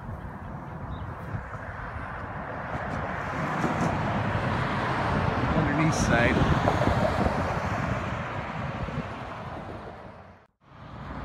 Well, here we are on Western Avenue in South Bend, Indiana. This is one of Dad's smaller projects that he did about 1978. It's fire station number six, obviously. Took some snapshots of him as well in front of a pretty cool totem pole they got right there. So he doesn't remember a whole lot about this project. That must means that, that it went real well. And we did inform the firemen inside that the warranty expired today. So that's it. Okay, we find ourselves on the road again here. We're in South Bend, Indiana on what is now called Martin Luther King Drive, 215 Martin Luther King Drive. Dad is here standing in front of the what was called the IBM building when he built it and I'll let him tell you what year that was. Um, it's no longer the IBM building as you can see they have done a facelift on the outside. It's now part of the South Bend Community School Corporation uh, administration building.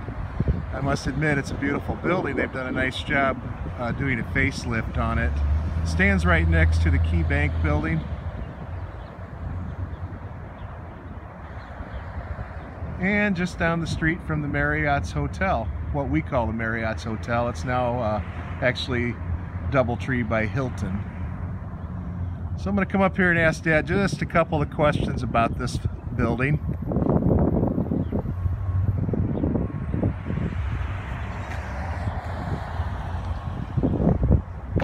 Dad, I already told everybody what this building was, but do you recall what year it was built? What year you worked on this? Yeah, 1974, 1975. And you were the superintendent on this project, correct? Yeah. Okay.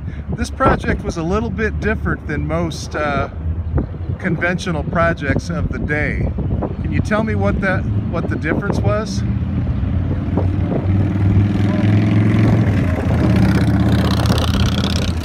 We'll try that again. We had a motorcycle going by. It, it was called post tension.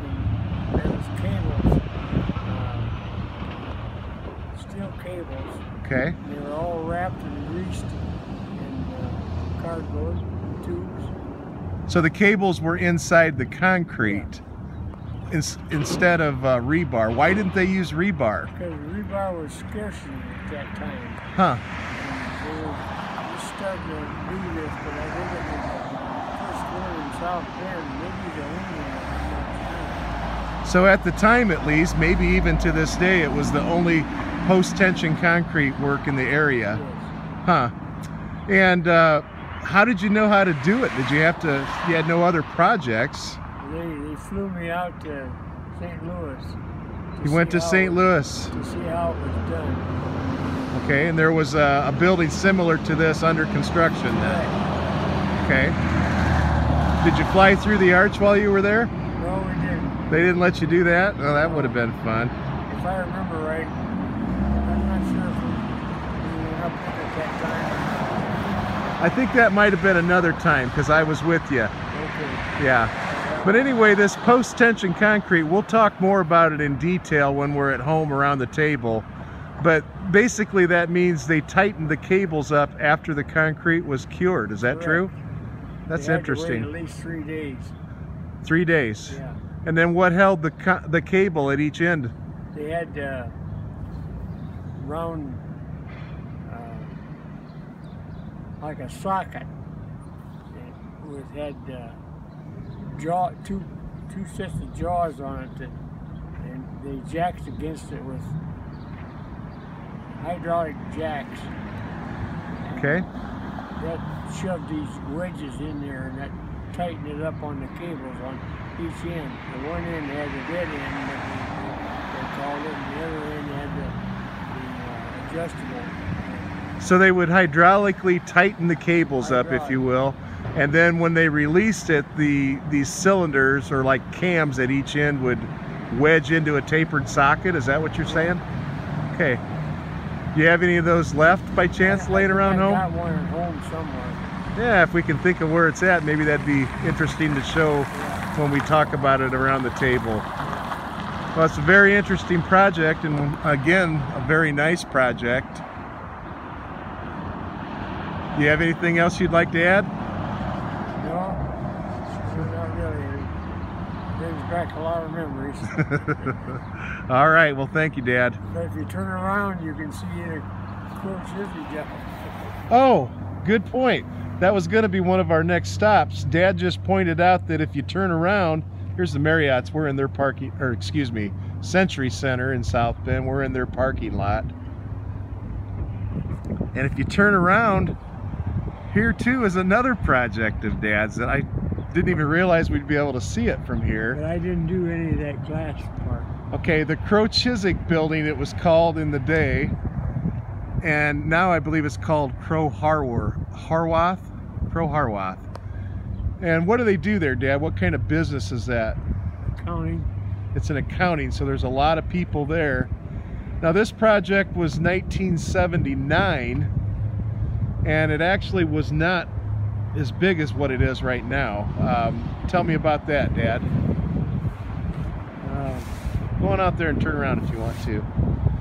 We're doing killing two birds with one stone here. uh, it's,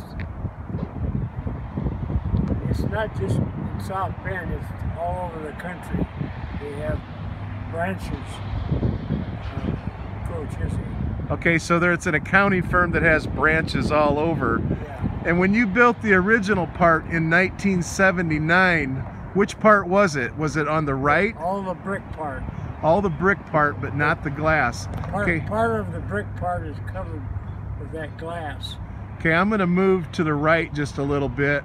He's saying that the portion that he helped construct, or actually was the superintendent of, is this part of the building, not the part that has all the glass. I, I'd say they covered up. Turn around if you're gonna talk. What's that? I'd say they covered up part of that brickwork with the glass Okay. on the left on the left side here, Be on the north. Well, I didn't have a chance to look at my notes before we started this. I just was unaware that we could kill two birds with one stone and, and talk about two projects while standing in the same spot. I guess that just shows that you uh, did a lot of projects in this town, and it's pretty neat that all you got to do is turn around and you see another one. And that that Crowe Chizek uh, or Crowe Horwath building, as it says on the building today. It was, it was called Crowe Chizek at the time. Yeah, Crowe Chizek. It's on Jefferson Street if any of you are looking for it. Would be just to the east of the Century Center.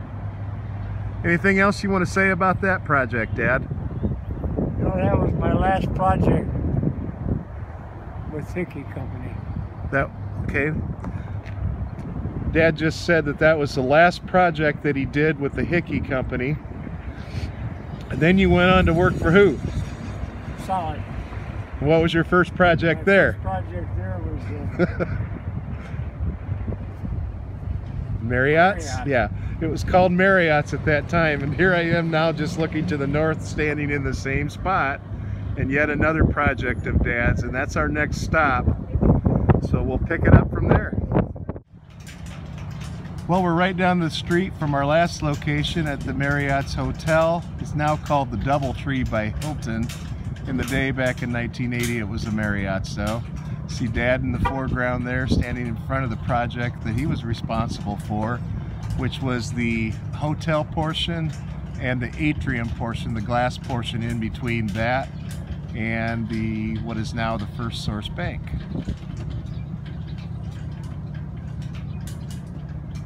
And we'll take some more video once we get inside.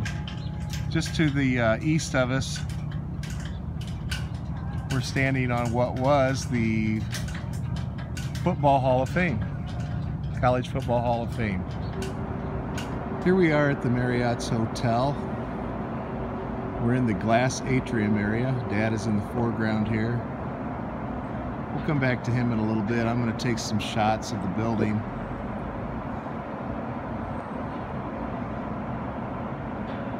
I don't know how many feet that is. Long ways up there. A lot of glass, a lot of steel. The hotel to our right. There's the elevator. Hotel to our right.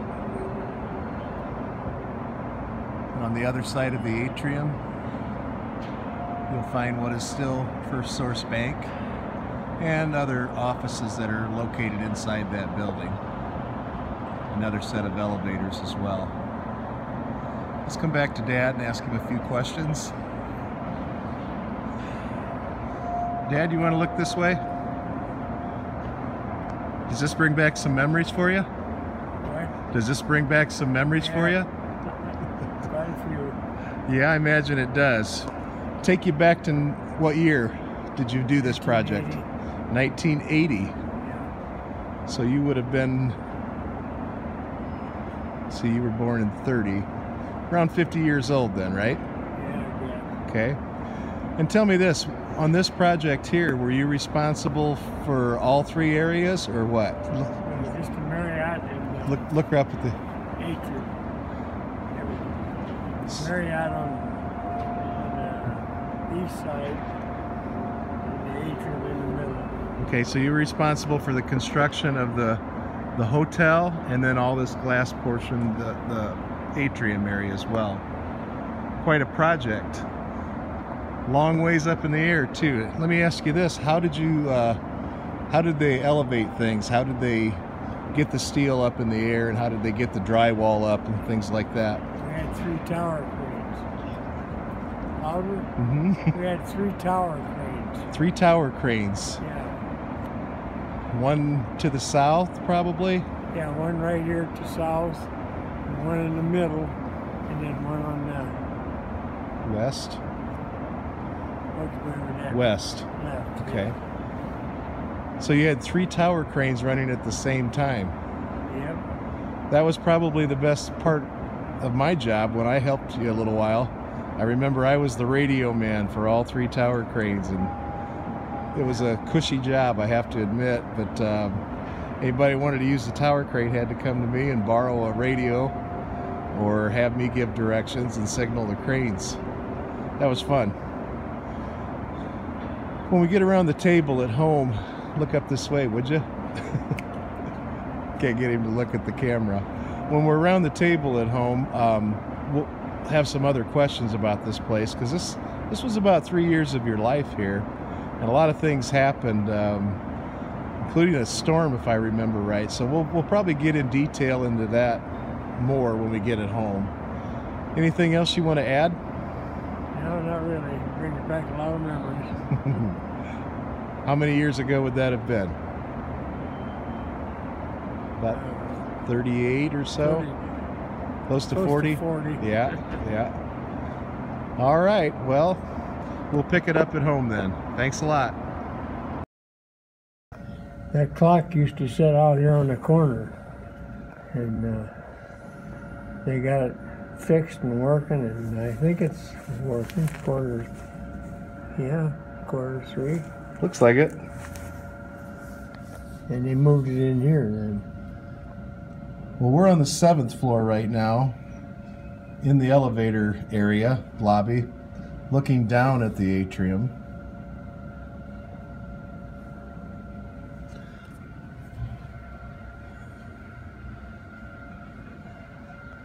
Come back over to the other side here. Oh yeah, you can see the restaurant area from this side. Beautiful building.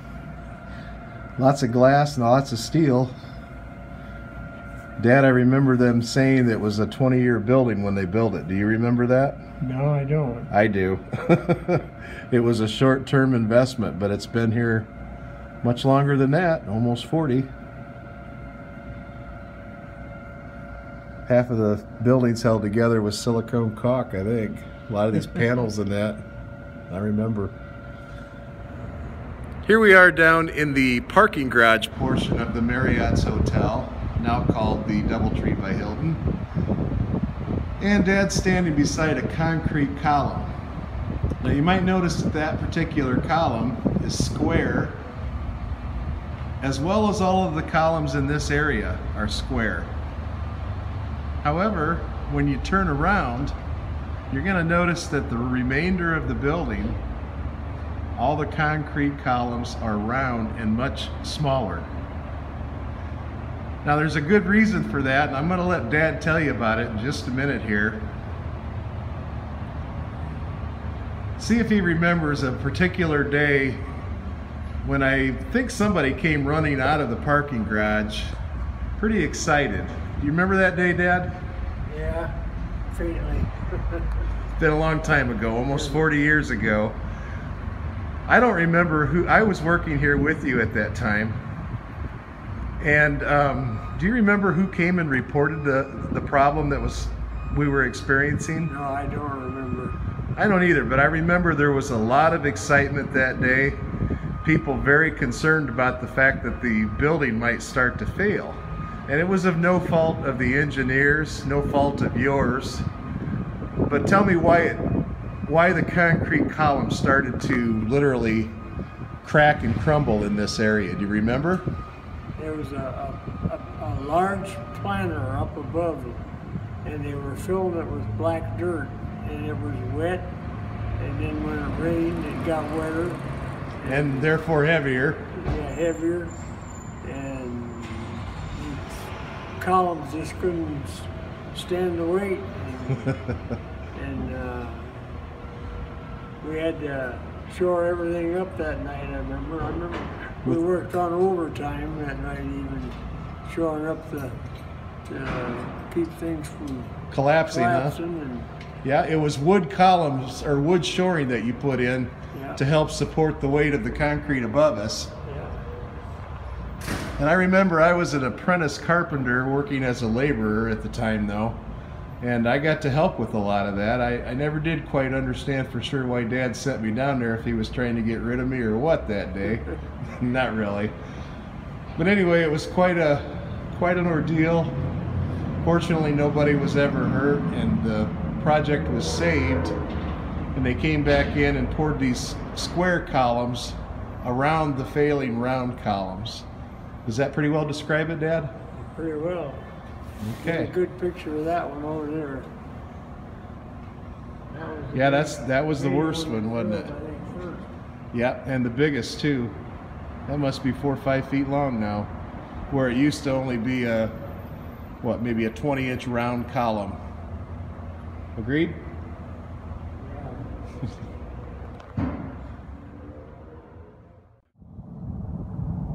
Okay, here we find ourselves at the main entrance of Penn High School. This is probably the largest project that Dad ever did. I think we decided it was in excess of $40 million. Um, this is just one small portion of the building, the main entrance. You can see that it goes quite a little ways down this way. It goes way, way, way down that way. And it spreads forever going away from us too. Um, I'm glad we came out. This is a pretty decent shot of the building. The only thing you can see online is just pictures from a bird's eye view because it covers acres and acres. So, very large project. I'm going to walk up towards Dad here. We'll see if he has any comments that he'd like to make about this one.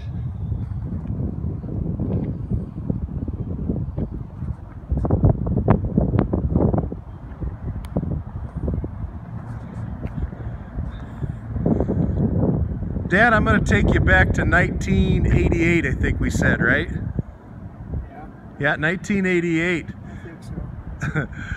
This was the, the Penn Harris Madison School Corporation project. It was the high school, Penn High, everybody refers to it as. And this was probably the largest project that you were ever responsible for. Would you agree with that? Yeah, between that and the Marriott, maybe. Okay. Dollar wise, it was a little bit more than the Marriott's, but then again, it was more recent too. So they're probably both one and the same, both very large projects. How many contractors would you guess you had on the job site at one time at, at the peak peak times?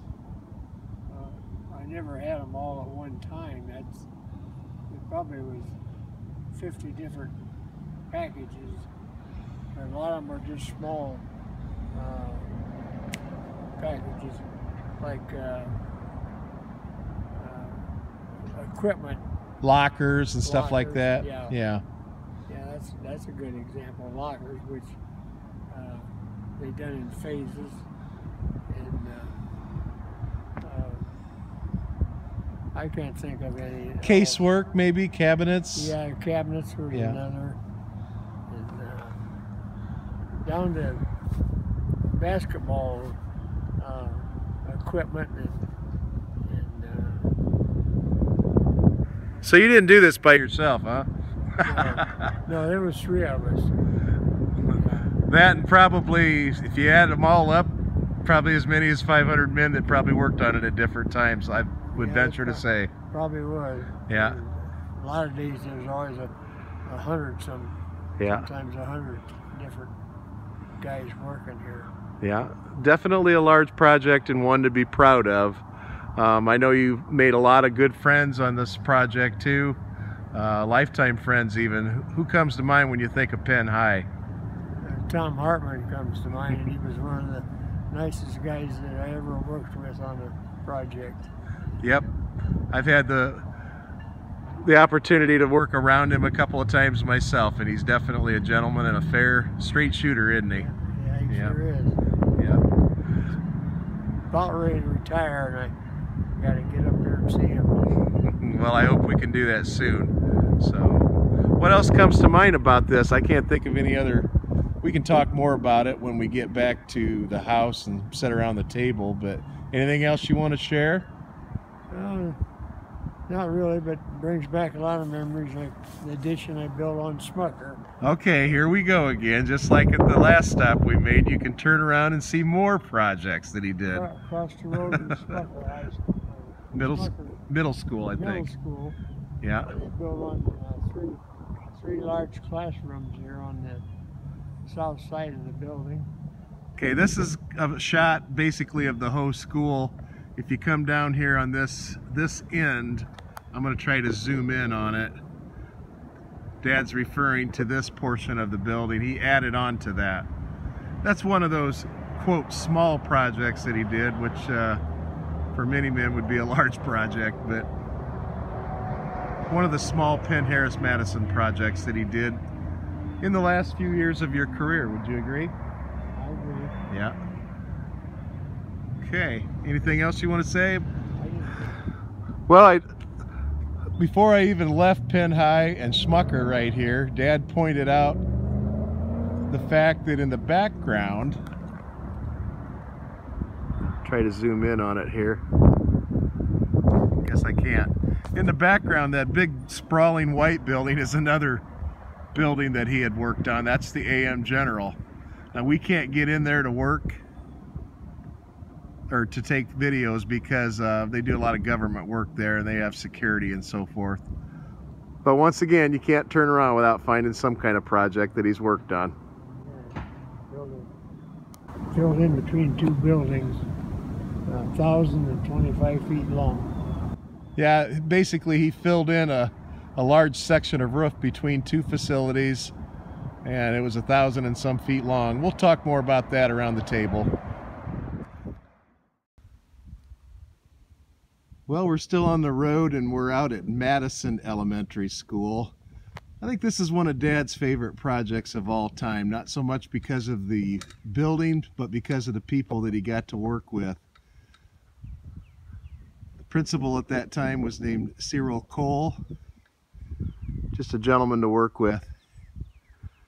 Here you see Dad standing in the main entrance. We'll come back to him in just a minute. While I'm standing here, I wanted to get a picture of the playground, which was part of the renovation that Dad was a superintendent for.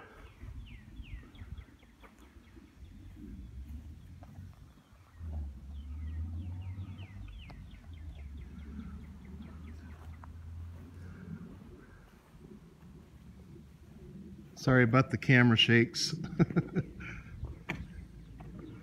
All right, Dad, you're tell them where you're standing. Main entrance of Madison High School. Okay. One of the projects I did with Cyril Cole. He ended up, he ended up working right with him, helping put equipment together. Yep, he was a he was a good helper for you, wasn't he? Yeah, he. I think actually this is considered an elementary school. They all go to Penn High School, right? Yep. Yeah. Okay, so you're you're at Madison Elementary. Do you remember what year we did you did this one?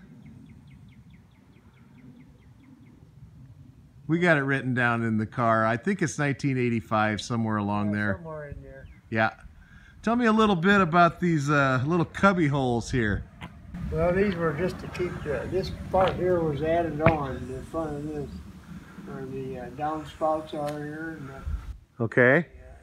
and the openings were for the kids to jump out of the bus and get in the drive. Okay, so this driveway that I'm standing in right here, this is where the buses come in and unload, and the kids can run underneath that, I assume, a canopy there. Yeah. So this is a new wall where the holes are at. What about that wall behind it? Well, back here was the original Madison School. So that's an older structure back there. And you added this addition on so they have a, a dry. We refaced over the, because it's the same brick. Yeah, it looks new anyway. Yeah, we re, re, refaced it. And we cut off each end of it, a section. I see. I say new, is 30 some years old, isn't it? yeah. Hmm. Well, yet another nice project. Well, you come in, come in here and look at this neat ceiling and, uh, Well, if you want to know the truth, I remember we did, I did this ceiling oh yeah, years later. yeah, Yep, I knew you had run this project, but I did this as a capital projects for Penn Harris Madison when I worked for Kaser Spraker. I remember all that soffit. I didn't actually do the work. I think I had 11 schools yeah. that I, I, I, I, I didn't remember doing this either, so. Yeah. All right. What else? Anything else you want to say about this project? How about how did they take care of this project after you got done? Well, Turn around here. I, I visited several times, and when I came in here and looked at it, it's just like as clean and nice as it was when I walked out. So they took a lot of pride in this, and they took care of it long after you left, right? they sure did. They had good custodians, and uh, Who was one of the custodians that you knew? uh, Charlene Bichtel was, uh, Charlene Gawker. yeah, it's Gawker now. It was Charlene Bickle Yep. at the time, yeah. Yep. She took a lot of pride in taking care of this place. I know Yeah. you always said that. So, what? Anything else you want to say about this? Well, uh, they used to kid me about her, Charlene, because I used to Look at me here. I used to go in and eat dinner with her. She's a nice lady. Yep, and she went to our church, so you knew her from Yeah. two different for two different reasons. Yep. Okay, anything else you want to add? No, I, I don't think we can see inside. We're on spring break, so nope, can't see a thing. Still on the road, this time visiting Elm Road Elementary School. we'll let Dad tell you what year he did this and kind of what he did. Come over here, you can see pretty good sized school. This was a renovation project.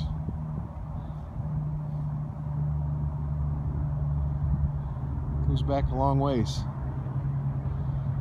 Well, let's zoom in on Dad here and come up and talk to him a bit.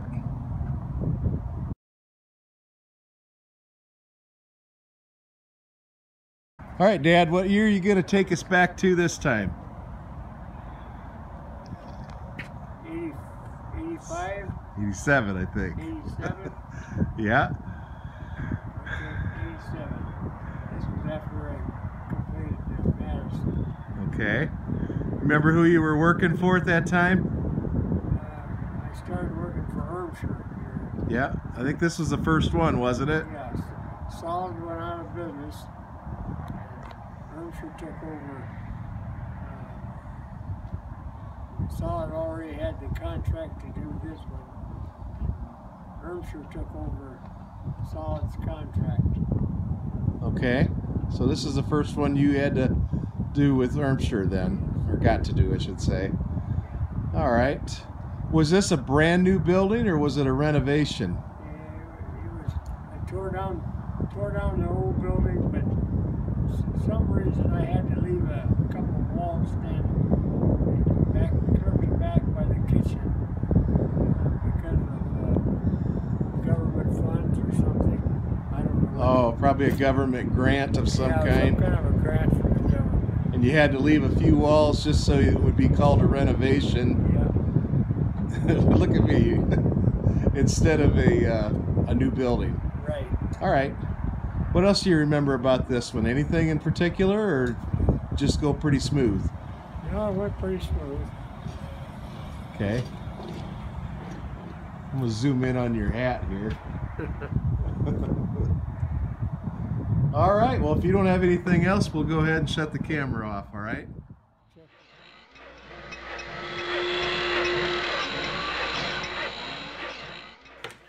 Well, we've covered a lot of ground. In closing, I hope that you have enjoyed sharing time with Dad on this video. I hope you have a better idea of what he did in his earlier years. And as mentioned earlier, Dad successfully completed many other projects in additions to the ones mentioned. There's just too many projects to mention, so I tried to cover the highlights of his career and some of the facilities that viewers might be familiar with. Now, many of these projects were very large and very expensive for the day. Penn High School was in excess of $40 million. Marriott's Hotel was in excess of $30 million. Woodridge Retirement Home and Nursing Home was in excess of $10 million. With all of this responsibility came many gray hairs and a great deal of stress for Dad. Regardless, he never went home and just sat in his easy chair.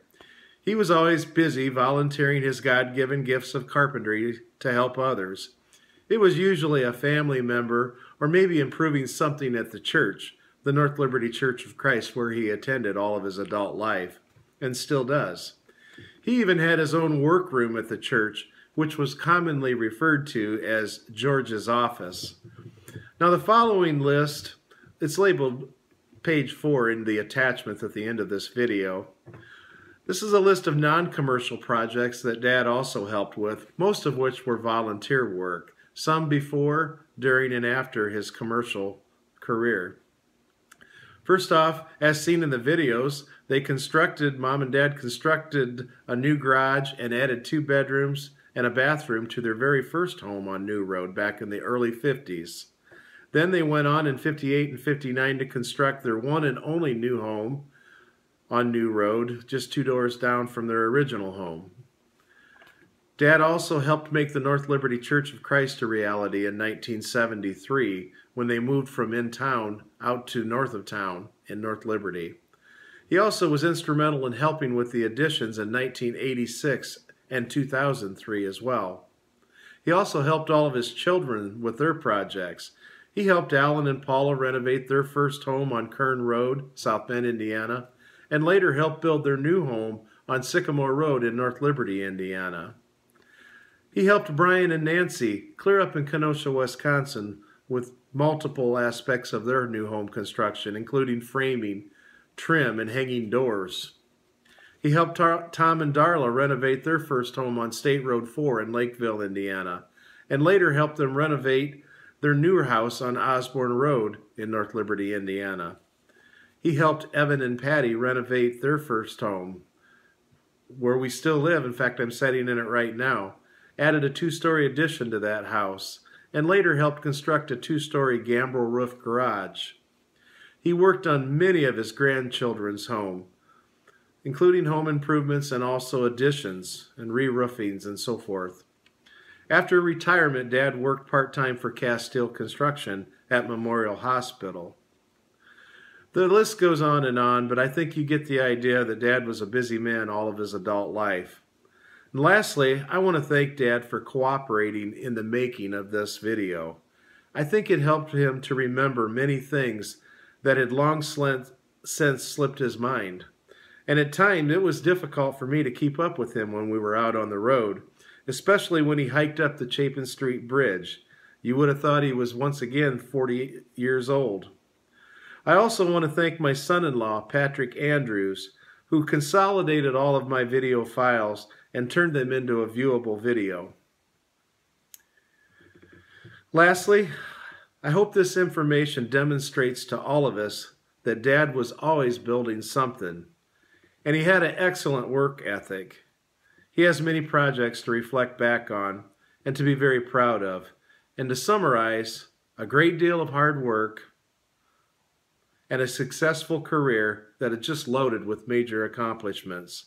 Mom always said it best. Good job, George. Thanks for listening, everybody.